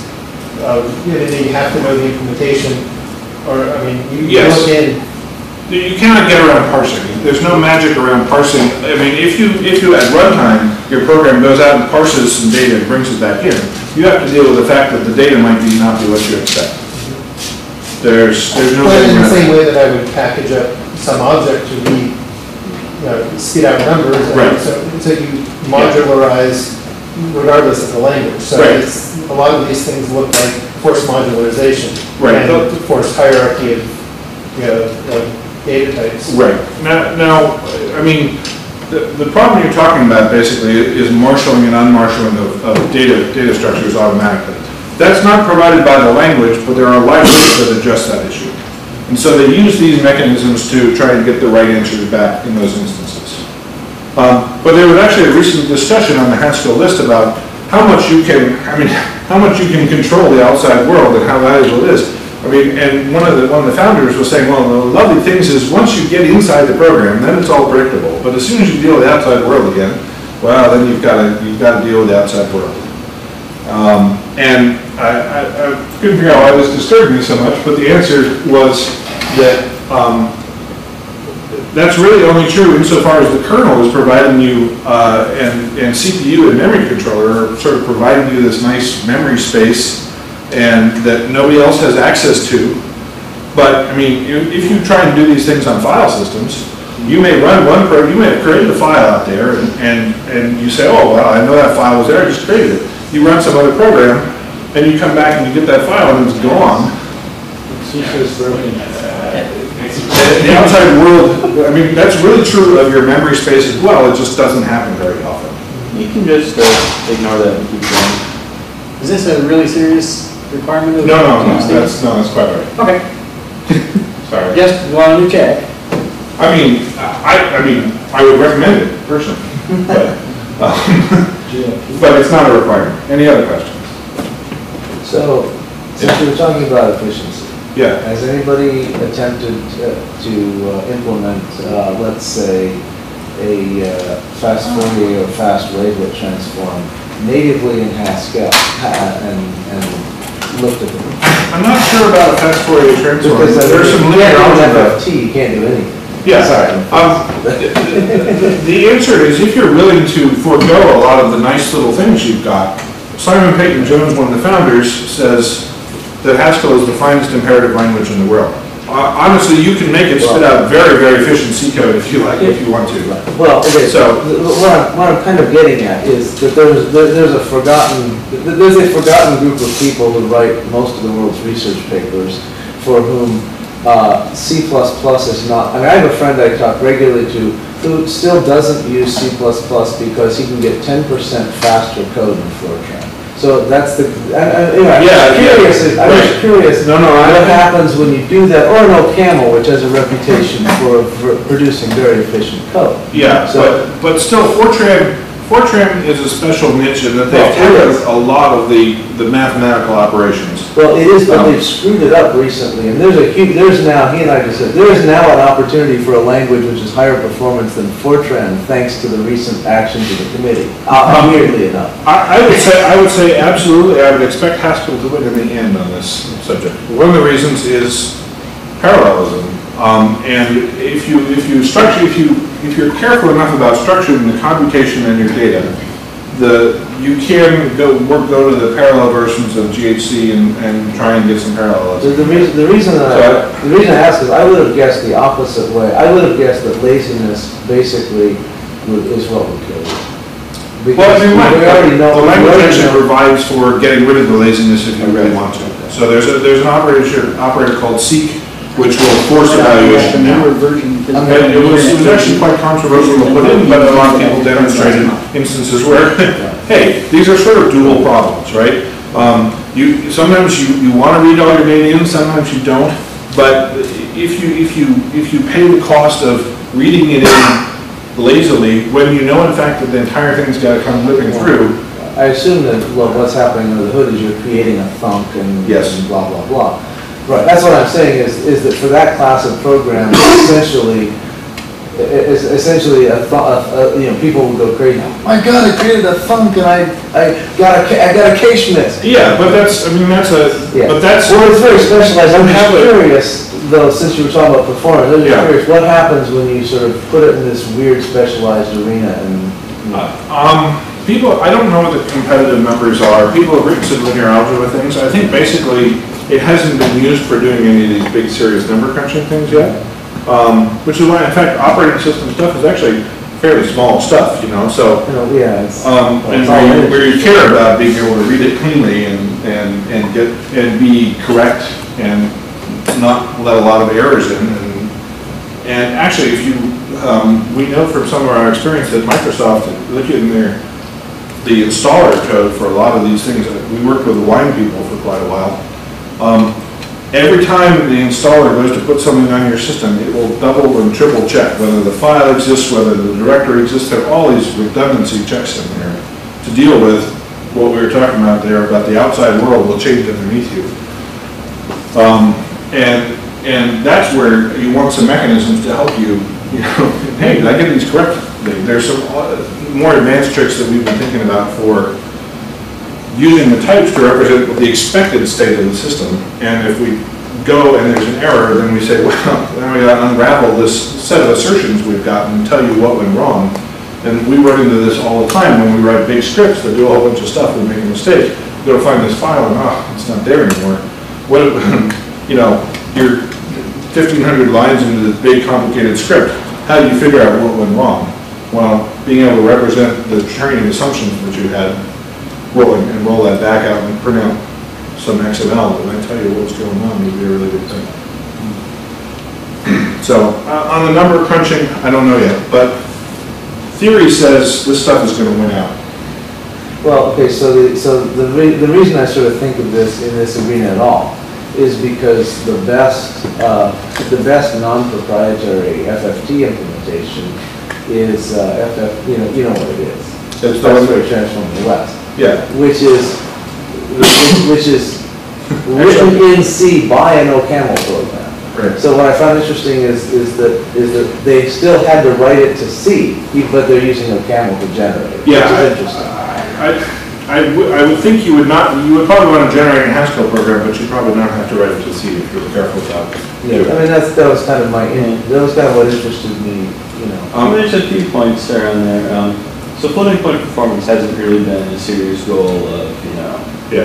the optimization backends and the compilers. You probably don't want to try and write that code. Um, all this laziness stuff, that is something that the optimizer works really hard at figuring out when it's not necessary to do this stuff. I mean, it would- it would ha- it would have to, essentially. It's, it's actually getting pretty clever about doing that. Yeah. I, I also ask these questions because I always laugh, I always laugh when the Haskell people talk about mathematics because they also mean a very restricted set of mathematics. Yeah, they mean Which is abstract algebra for the most part. Well, they also, they also mean, they also mean a lot of, as category. well, they also mean discrete, discrete math. And Yeah. those of us who spent, you know, most of our lives doing continuous math, it's, it's interesting. And, and it's just not something, these, these are people who don't talk to each other. Yeah, That's right. They do the kind of math that mathematicians Yes. Actually, actually, no, that's not, that's not Modern true. mathematicians. They do the kind of math that computer scientists that have mathematician envy like. Uh, well, all right. Anyway, uh, Hey, Euler was a mathematician, let's not forget. it's, I mean, there are certainly problems that we do not recommend people tackle with Haskell right at this point. I certainly do not recommend that, uh, you know, I don't expect that, that uh, uh, everybody's going to take to Haskell, but uh, the story I've been telling recently is, uh, I mean, I was the youngest of four brothers. Um, And when I was six, my oldest brother was 13, my grandmother said, "Dude, look, we got a bridge quartet here. And she taught us all how to play bridge. So I don't remember a time in my life when I didn't know how to play bridge. And as I was growing up, most of my friends had never heard of bridge, much less knew how to play. And a lot of adults were completely blown away by the fact that I knew how to play bridge. But I had no clue that this was anything that I was too young to learn, so I had just learned it. Um, I never became a bridge master, but two of my brothers went on to go for it uh, pretty aggressively at various times. Um, But I learned it young enough that a lot of the other games that came around, hearts, spades, whist, euchre, canasta, so- somebody would say, oh, do you know how play, you know, this game? And I'd say, well, no, and, but go ahead and teach me, you know, and, and they'd say, well, this, uh, this is a trick, and, and, you know, this is a term that you, I'm I know what a trick is, that's fine. And most of those games are all subsets of bridge in one way or another, or variants thereof. If you know bridge, the auctioning is in whist, the trumps are in spades, but only one suit, and they're all just subsets of it. And so I had this roadmap to put everything on. Well, as I progressed through all the languages, Haskell came around and I said, ah, here's bridge. And this is the game you can play for a very long time if you're willing to devote the, the, the time to it, basically. It's non-trivial to learn, but the IRC channels and the, and the tutorials are all getting better. People are writing tutorials every other day, it seems like. I didn't understand this bit, so I wrote a tutorial for it. There's a big wiki and you can add to it. Yeah, I know, I noticed that, which is very good, but eventually, eventually they're going to have to actually, eventually they're actually going to have to get to the point where they have, uh, they have a small, they have a small number of ones that they're pointing people to. Because Yeah. that was one of the problems actually is that when I looked at it, there were too many tutorials. Yeah, yeah, that- that's Which means that you can't, which means that, that almost certainly the tutorial you need is there, but you'll never find it. And that's, and that's why the, the IRC channel can be a really good thing. You go and you just pick a particular topic and write a little thing, go out to the IRC channel, and get some help on it. You can move things along. The cafe is per- precisely for this purpose, so you can say, I'm trying to do this, I'm trying to represent my fast trip film, I don't care about speed right now. How do these arrays work? And uh, it will type. Um, this is the purely functional data structures by Chris Okasaki, this is his PhD thesis. Um, this will open your eyes on, on data structures in a big way, in many ways, and certainly about purely functional ones.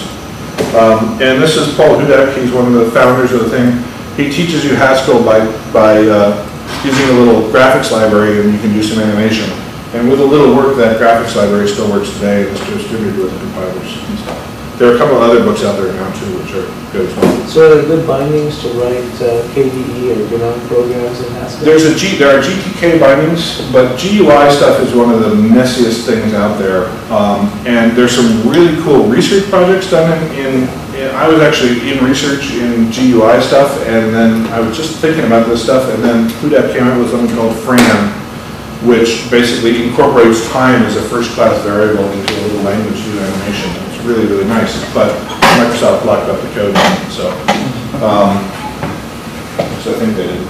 Um, But the, um, there's bindings for GTK and for WX, uh, the WX widget set, and then there's this third sort of graphics library.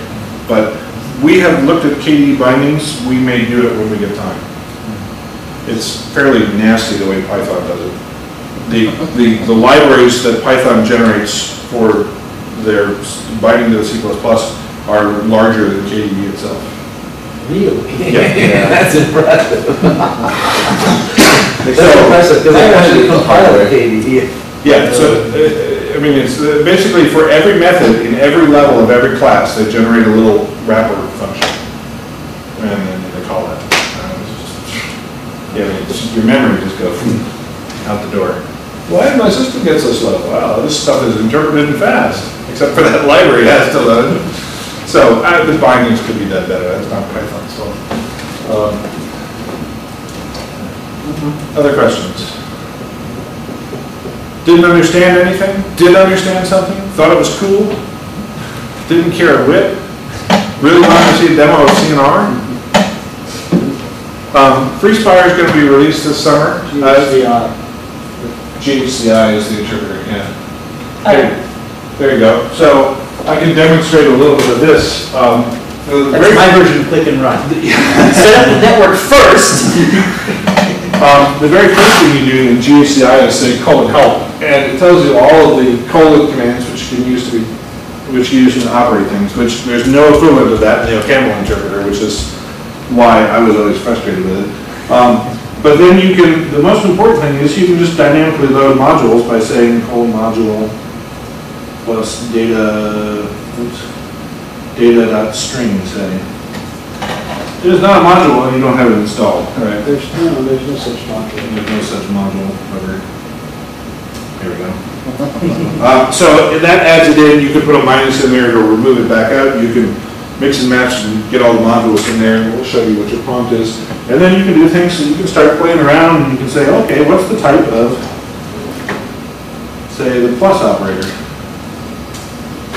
Well, it's type AAA with a numeric thing on it, you just go off and play right there. Um, Another, I I sort of glossed over this, but another thing that we really like about this is Haskell is very, very, I mean, this, this colon M thing, it's syntax you use inside the interpreter, but other than that, you use just exactly the module syntax that you use um, in the code itself. If you write a little bit of code, you can say colon load, that little bit of code, and pulls it in, and off you go. There's very little difference between the interpreted world and the compiled world. It's a very seamless transition. Well, OCaml, that's not the case. You to stand on your head, kind of make things go. Um, And it's much more like Scheme or something where they, they really got that seamless transition very nice. How do they deal with binding with external languages? Um, the GHC, the Glasgow Haskell compiler, um, has, uh, both a library for generating things, uh, for generating bindings for more complicated things called um, Haggis, or they're all Scottish names them. Uh, Green Card was the, was the thing, and there was another one that was done. But these days, you can just say, oh, here's a foreign function for C, and off you go, and there are lots of examples of how to do it. That was another thing, they paid attention. Um, I was at a meeting where in, I don't know, the mid-nineties about there, where they were saying, look, we keep writing all these cool languages and nobody keeps, nobody uses them. And, and so they did, they took, Phil Wadler took a poll and saying, why aren't you guys using it? And I said, well, I got about a million lines of code over here. And you want me to rewrite it in a language which, you know, I'd love to play with that language, but I- what I want to do is work on my problems because I got a million lines of code. So that was another reason Haskell was a, an, uh, a point where everybody working on these, these languages and theories could, not everybody, but a lot of people could come together and what they do is, hey, I've got this proposal for a new type system over here. And they implement it as an extension to GHC and they put it out there for people to use. And then people use it and comment on it for a long time. And then the committee comes back and says, well, this one we think is really nailed right now. And so we're going to add it into the standard. So there's this funneling process that works quite well.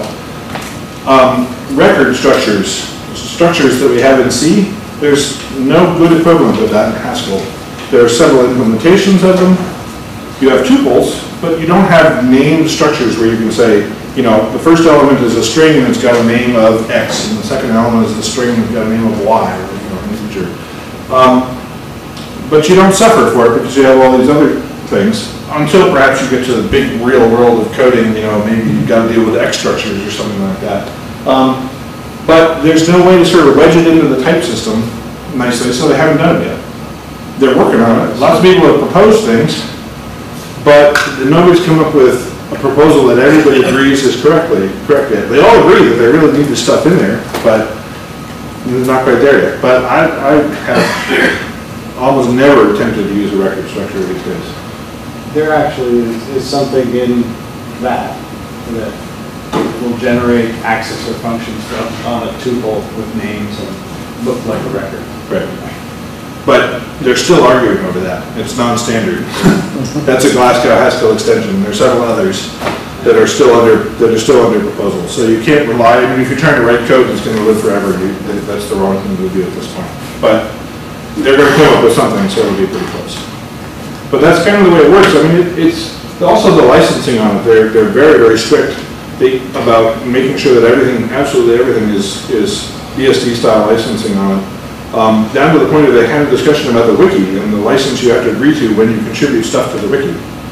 Um, so you have to, you can't put copyrighted code in- or text into the wiki for, for Haskell. So, uh, so in terms of open source, they're, they're really quite good.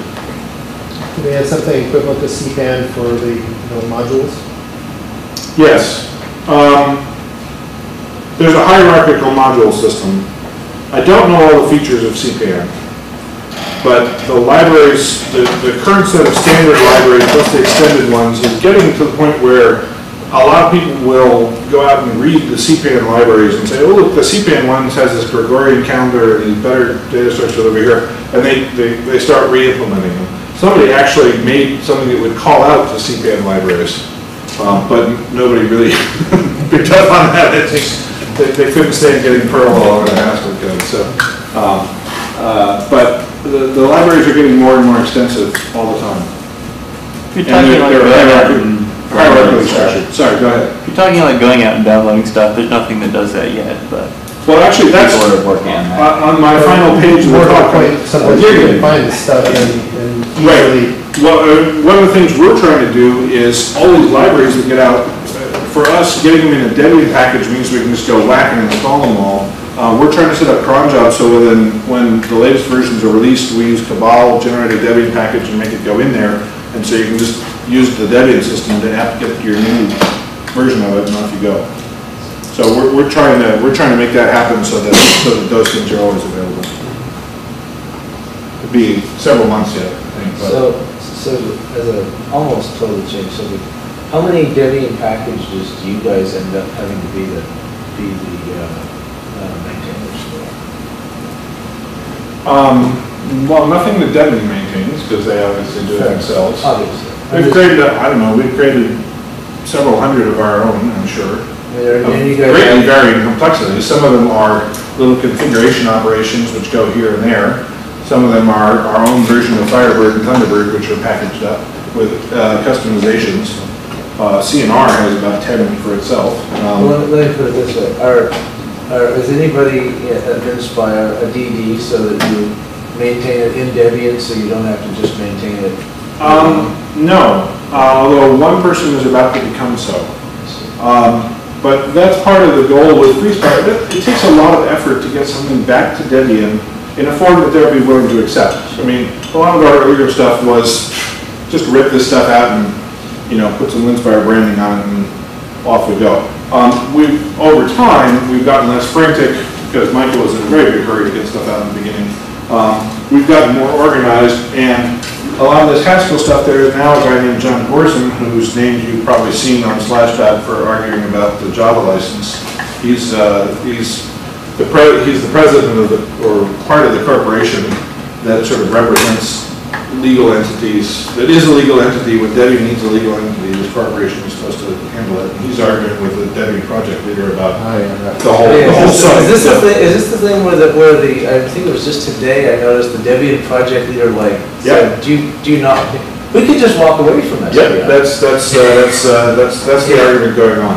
Well, John, in, in his other world, has migrated from Python to OCaml to Haskell, and has now written his, rewritten a lot of his Debian tools in Haskell, and we're planning to take a lot of like our auto builder and stuff and funnel them back to Debian through him. Um, which gives us an advocate on that side who is both Debian and Haskell, and he's kind of excited about that. Plus, there's, um, um, several other Debian developers are big Haskell fans, and we're on a mailing list with them about getting, getting the packaging up to date, current, keeping it current. Um, we're trying to work with them to get that stuff done. So, we've been a little insular often because we felt, I mean, we felt we couldn't, you know, make the promises to Debian that, you know, anybody as a Debian developer would want them to make. With FreeSpire, we think we can do that, so we're moving more for that direction. I I was wondering if you could talk a little bit about the, how you deal with the ongoing challenge of merging your, your changes back into each new release. Yeah, um, some, some time ago, we, we, uh, about two years ago, maybe two and a half years ago, we got fed up with CVS. Um, uh, and Debian works, has mechanisms all in place for Debian to use, but if you're, you know, they've got upstream and then Debian's downstream, and they catch all the software and they apply all these patches and re, reapply them. And We're sitting downstream of Debian, so there's a double layer, and their mechanisms don't recurse. So, yeah, uh, and uh, we looked around at source code control systems and we settled on Arch TLA, um, which is, like Haskell, has a fairly steep learning curve. Not, not Darcs, huh? Darcs was really, really raw at the time. Darcs still does not have a lot of the things that a real-world commercial developer will need. For example, if you put in a Debian package and you check it out, the rules file, which is the make file for the package, will not run because the executable bit has been turned off on it. Doesn't preserve that. So there are a lot of things where, where TLA treated the metadata on the file to be the same as the data in the file. If you change that, it records that and puts it in there. Darcs doesn't do that. Darcs doesn't keep full histories. Darcs doesn't have quite a lot of other things. It's, it's, it's a, it's a, it's a, seems to be a very hard problem that nobody really paid any attention to a long time, for a long time. Uh, the, the people have partitioned off in, in about thirds. Git does some really amazing stuff, and it's getting better, and it's encroaching on these things, but there are a lot of things it doesn't ignore, and doesn't, you know, Linus created to do what he wanted to do in a hurry, and that's other people sort of, you know, moving along. Darcs is great if you're doing a developer on upstream code, uh, man, it's fabulous. It's got like eight commands. Um, everything's symmetrics, everything's pure. It was written by a physicist. Yes, I, Um, I, I, and I know, I know, I love, I, it's the only place I've seen quantum operators. You should use quantum operators for everything. Why not? Um, And TLA, TLA sort of takes the patch management to a, mul- a, a- really high level. Um, And it- TLA is in, in so many ways purely functional in that you, you submit a patch to the server and you're not allowed to really modify what's on the server. It's, it's like, it's like Chris Okasaki's purely functional data structures. Um, it's quite powerful. It takes, the UI is not the real strong point there. The command line, there are like a hundred commands, which take quite a long time to learn. Um, and it's, and it's buggy. Um, and, and Tom Lord got into a flame war with, with Canonical over taking sort of, they sort of hijacked it from him and got really bitter about them. And then he got sick and then, so, um, it, but at the time, as one of our colleagues said, it sucked the least in terms of source code control systems. We think it's still an unsolved problem, we're limping along with TLA. Um, one of the things we're using Haskell for, so we can rewrite some of these tools, so that maybe we can say, just get me all these packages, look, I got this bug to work on, get me all these packages, because the bug spans 15 packages, hack, hack, hack, hack, hack, push this thing up, please figure out where that patch should go, someplace up on the server, and give it to the release manager who will figure out what to do it. Um, so we, we're, the- that's why we're trying to make things simple for the outside world, to just say, look, I, I see there's a bug here, and I don't even know how to fix the bug, but what I want to do is submit to you a, you know, a diff in the output of your program, and here's what your hardware detector generated, and here's the frickin' option that needs to go in the third paragraph of my xorg.conf, and here's the diff, please make your detector do this on my machine. We have all the components in place to do that, pretty much. We can take a snapshot of your machine and have you send it back up to them, and David often sorts that stuff out. Um, Or, um, but, you know, we're still configuring X servers after I went to the second X conference in 1986. That's just way too frickin' long to not have solved the problem of how to bring up an X, a Windows system on a video card, in my opinion. Uh, It's just, it's terrible. That's what I mean, that this core set of stuff, it's just all broken. And it's broken because we're all the people who use it, we all know how to fix it. It's like, oh, well, that fell off the top there, yeah, never mind, I'll just put it right back there. You didn't see that, you know, I mean, and, and. Well, X X is a special case. No, no, it's really, it's really not. It's really completely not a special case. Software is very hard. Getting software to the point where it works mostly, where you can tell something just how to get it right in there is pretty easy. Getting it to always do the correct thing down the line in a heterogeneous, complex world is not easy. And it takes an awful lot more effort. X wasn't developed for like 10, 15 years, that's kind of special. X was in deep maintenance mode for. Yeah, but, but, That should have made it easier in theory. yeah. Well, no, because it was in deep maintenance But mode it's, in a it- but deeply it's, broken state. but look, there's, there's all kinds of active, With the override things like stuff. USB drivers, software suspend and resume, all these things, they all break repeatedly. Sure. Of course, they have terrible things to deal with, they have BIOSes to deal with that come from random manufacturers and have all kinds of bugs in them. Um, the standard way, if your laptop doesn't come up with the right resolution to fix that, is to get somebody to hack the video BIOS and put the freaking right modes that are supposed to be in there for your LCD panel, and then you write that video BIOS back in every time you boot. I mean, that's just totally lame, because the manufacturer was not following the specs that Intel gave them.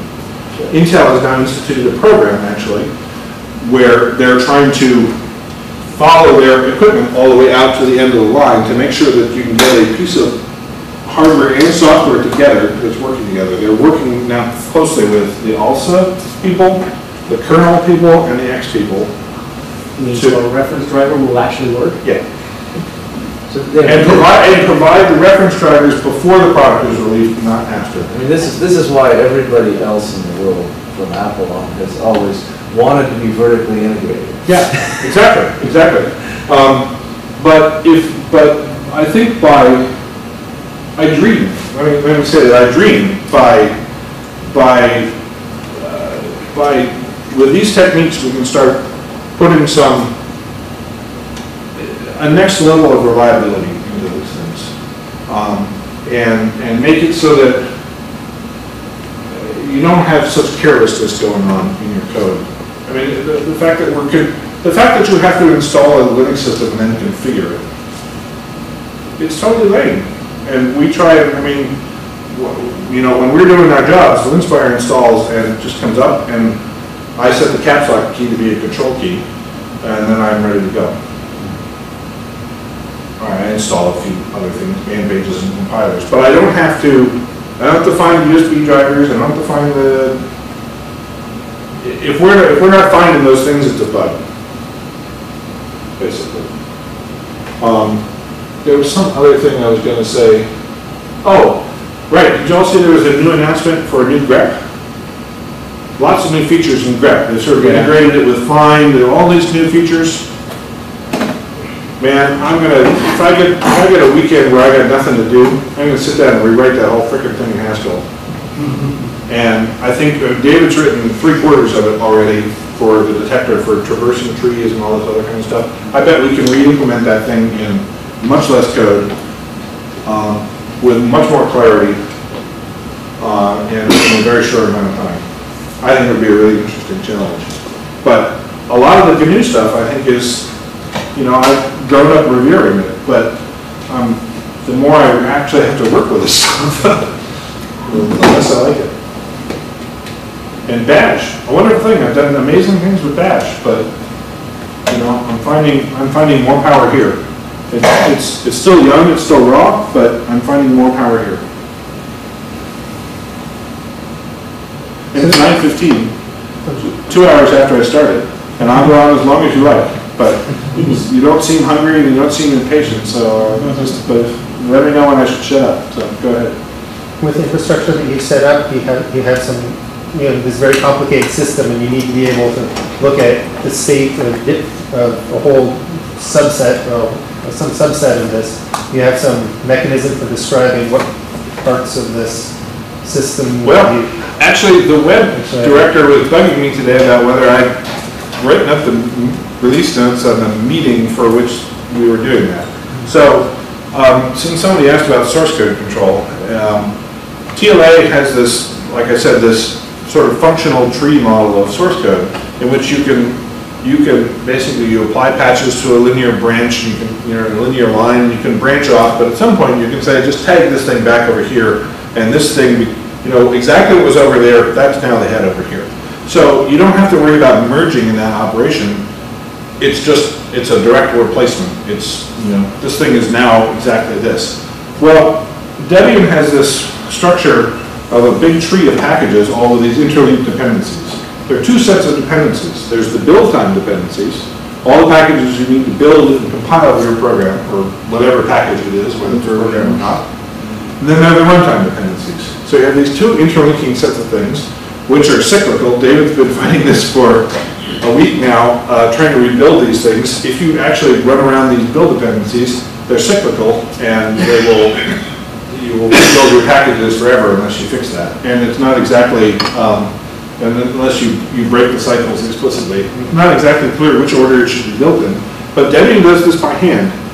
Um, A maintainer is responsible for noticing that his build dependencies have changed, be- have been uploaded to the repository, and he's supposed to fix any bugs and, and re-upload it himself.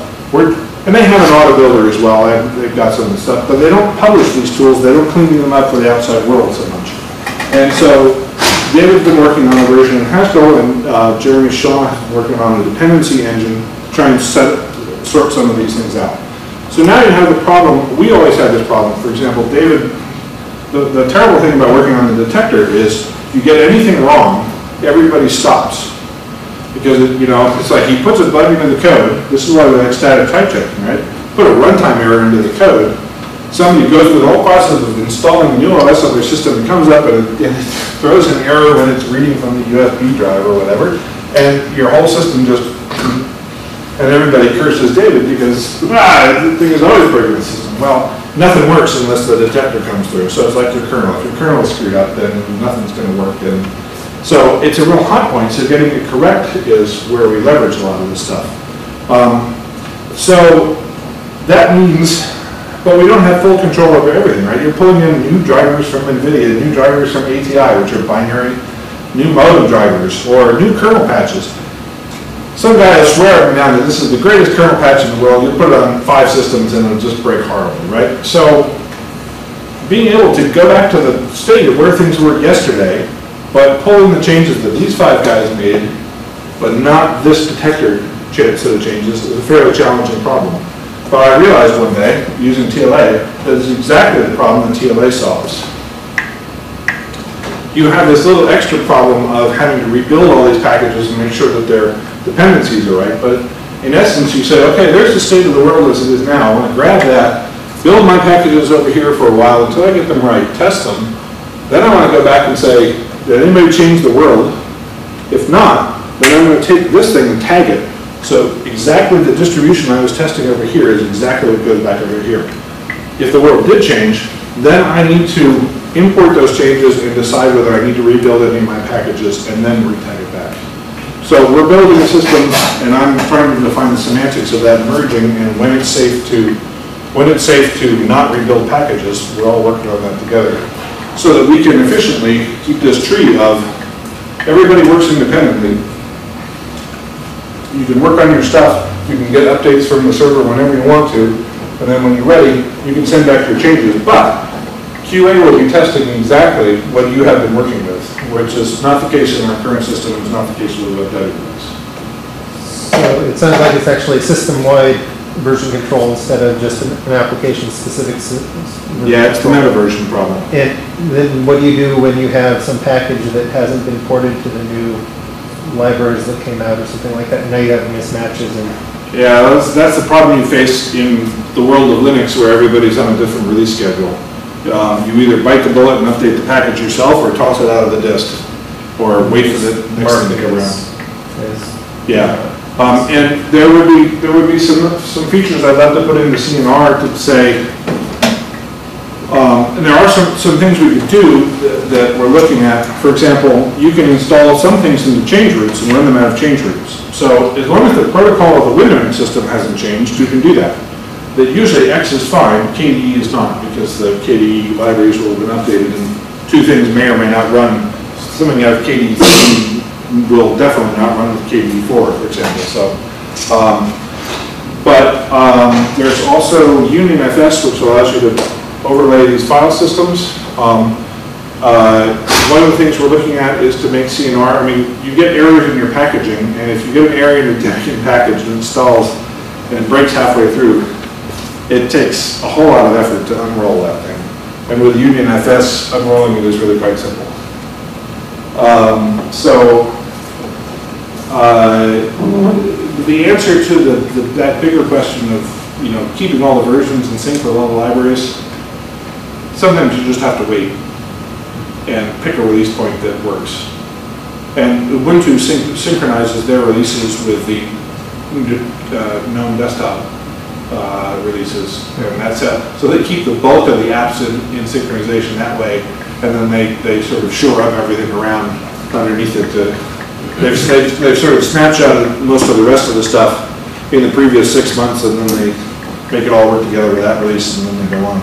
but they, That's more or less what we do. I'm kind of uh, naive about all the politics within the Linux community, but how do they affect uh, you at Um, they have, um, well, I think they've largely been resulting, they've largely resulted in turning my management around to produce FreeSpire.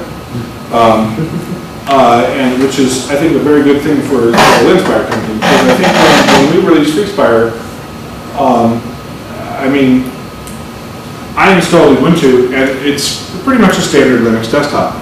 If you go and you click on an MP3, nothing happens. If you go and click on an OGG even, not the, the right things don't happen. So, um, if you're worried about licensing, they do absolutely the right thing, except for when they don't. Um, so for example, there are some binary video drivers that they will compile at boot time in a RAM disk so that you can run those video drivers but not violate the GPL. Because you, because you compiled it. Right, Okay, because so- that's, because that's, a- that's effectively a loophole in the GPL, and Mark Shuttleworth said at the Debian conference when he was challenged on this, that, that, that it's been legally tested internationally and it survived. Hmm. But the rest of us went, but, but, I mean, that, that's a loophole, that's not, I mean, you're still using a binary driver, and you're saying you're, you're sticking by the GPL. So, I mean, we make no bones about it, look, if, if there is no open source driver, we'll use a binary one.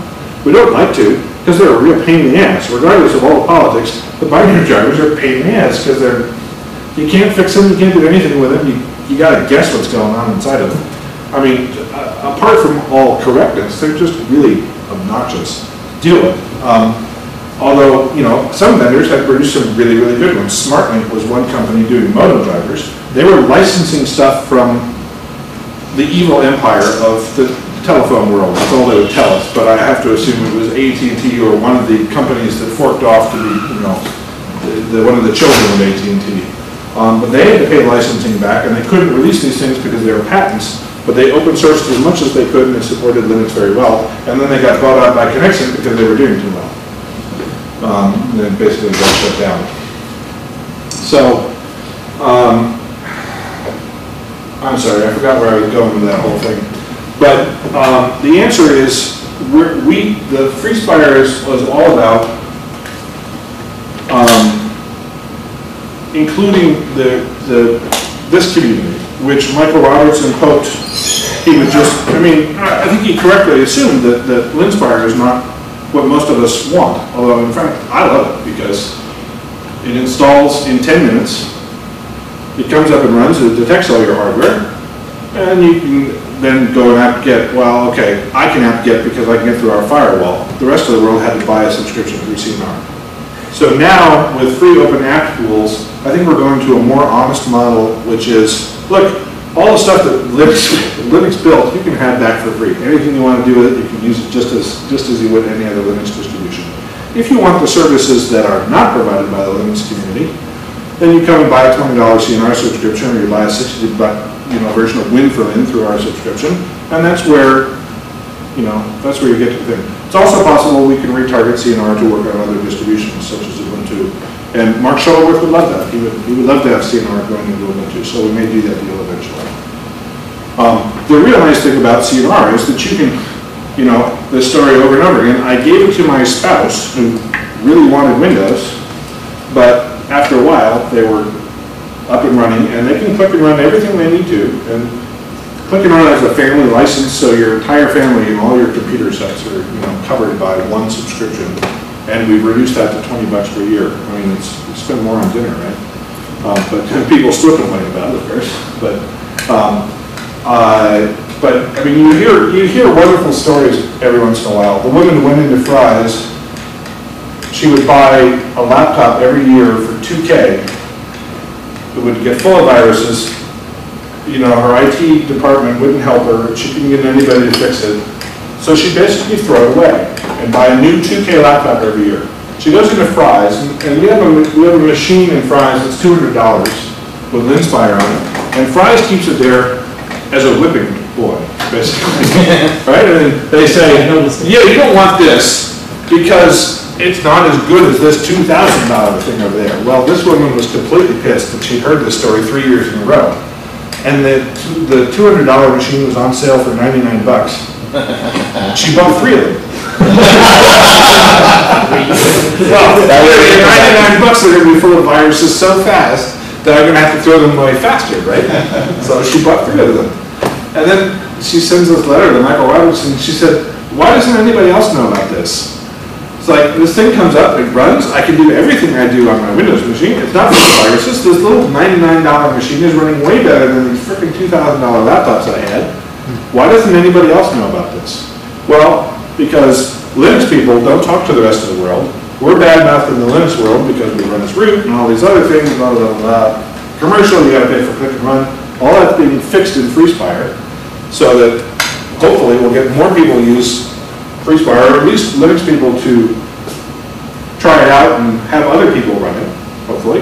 Um, and then hopefully we can get to the bigger, that will start some buzz and get to the thing. We're, the OEMs love us because nobody else in the Linux world will do the things that business people want. And, I mean, everybody's getting USB keys to be handled these days, but, I mean, we're the only people with Windows Media Codecs in there, largely as a result of our settlement with Microsoft, where they said, take these, run these. And of course, that's a little hook on their part, right? That gets us to run proprietary formats.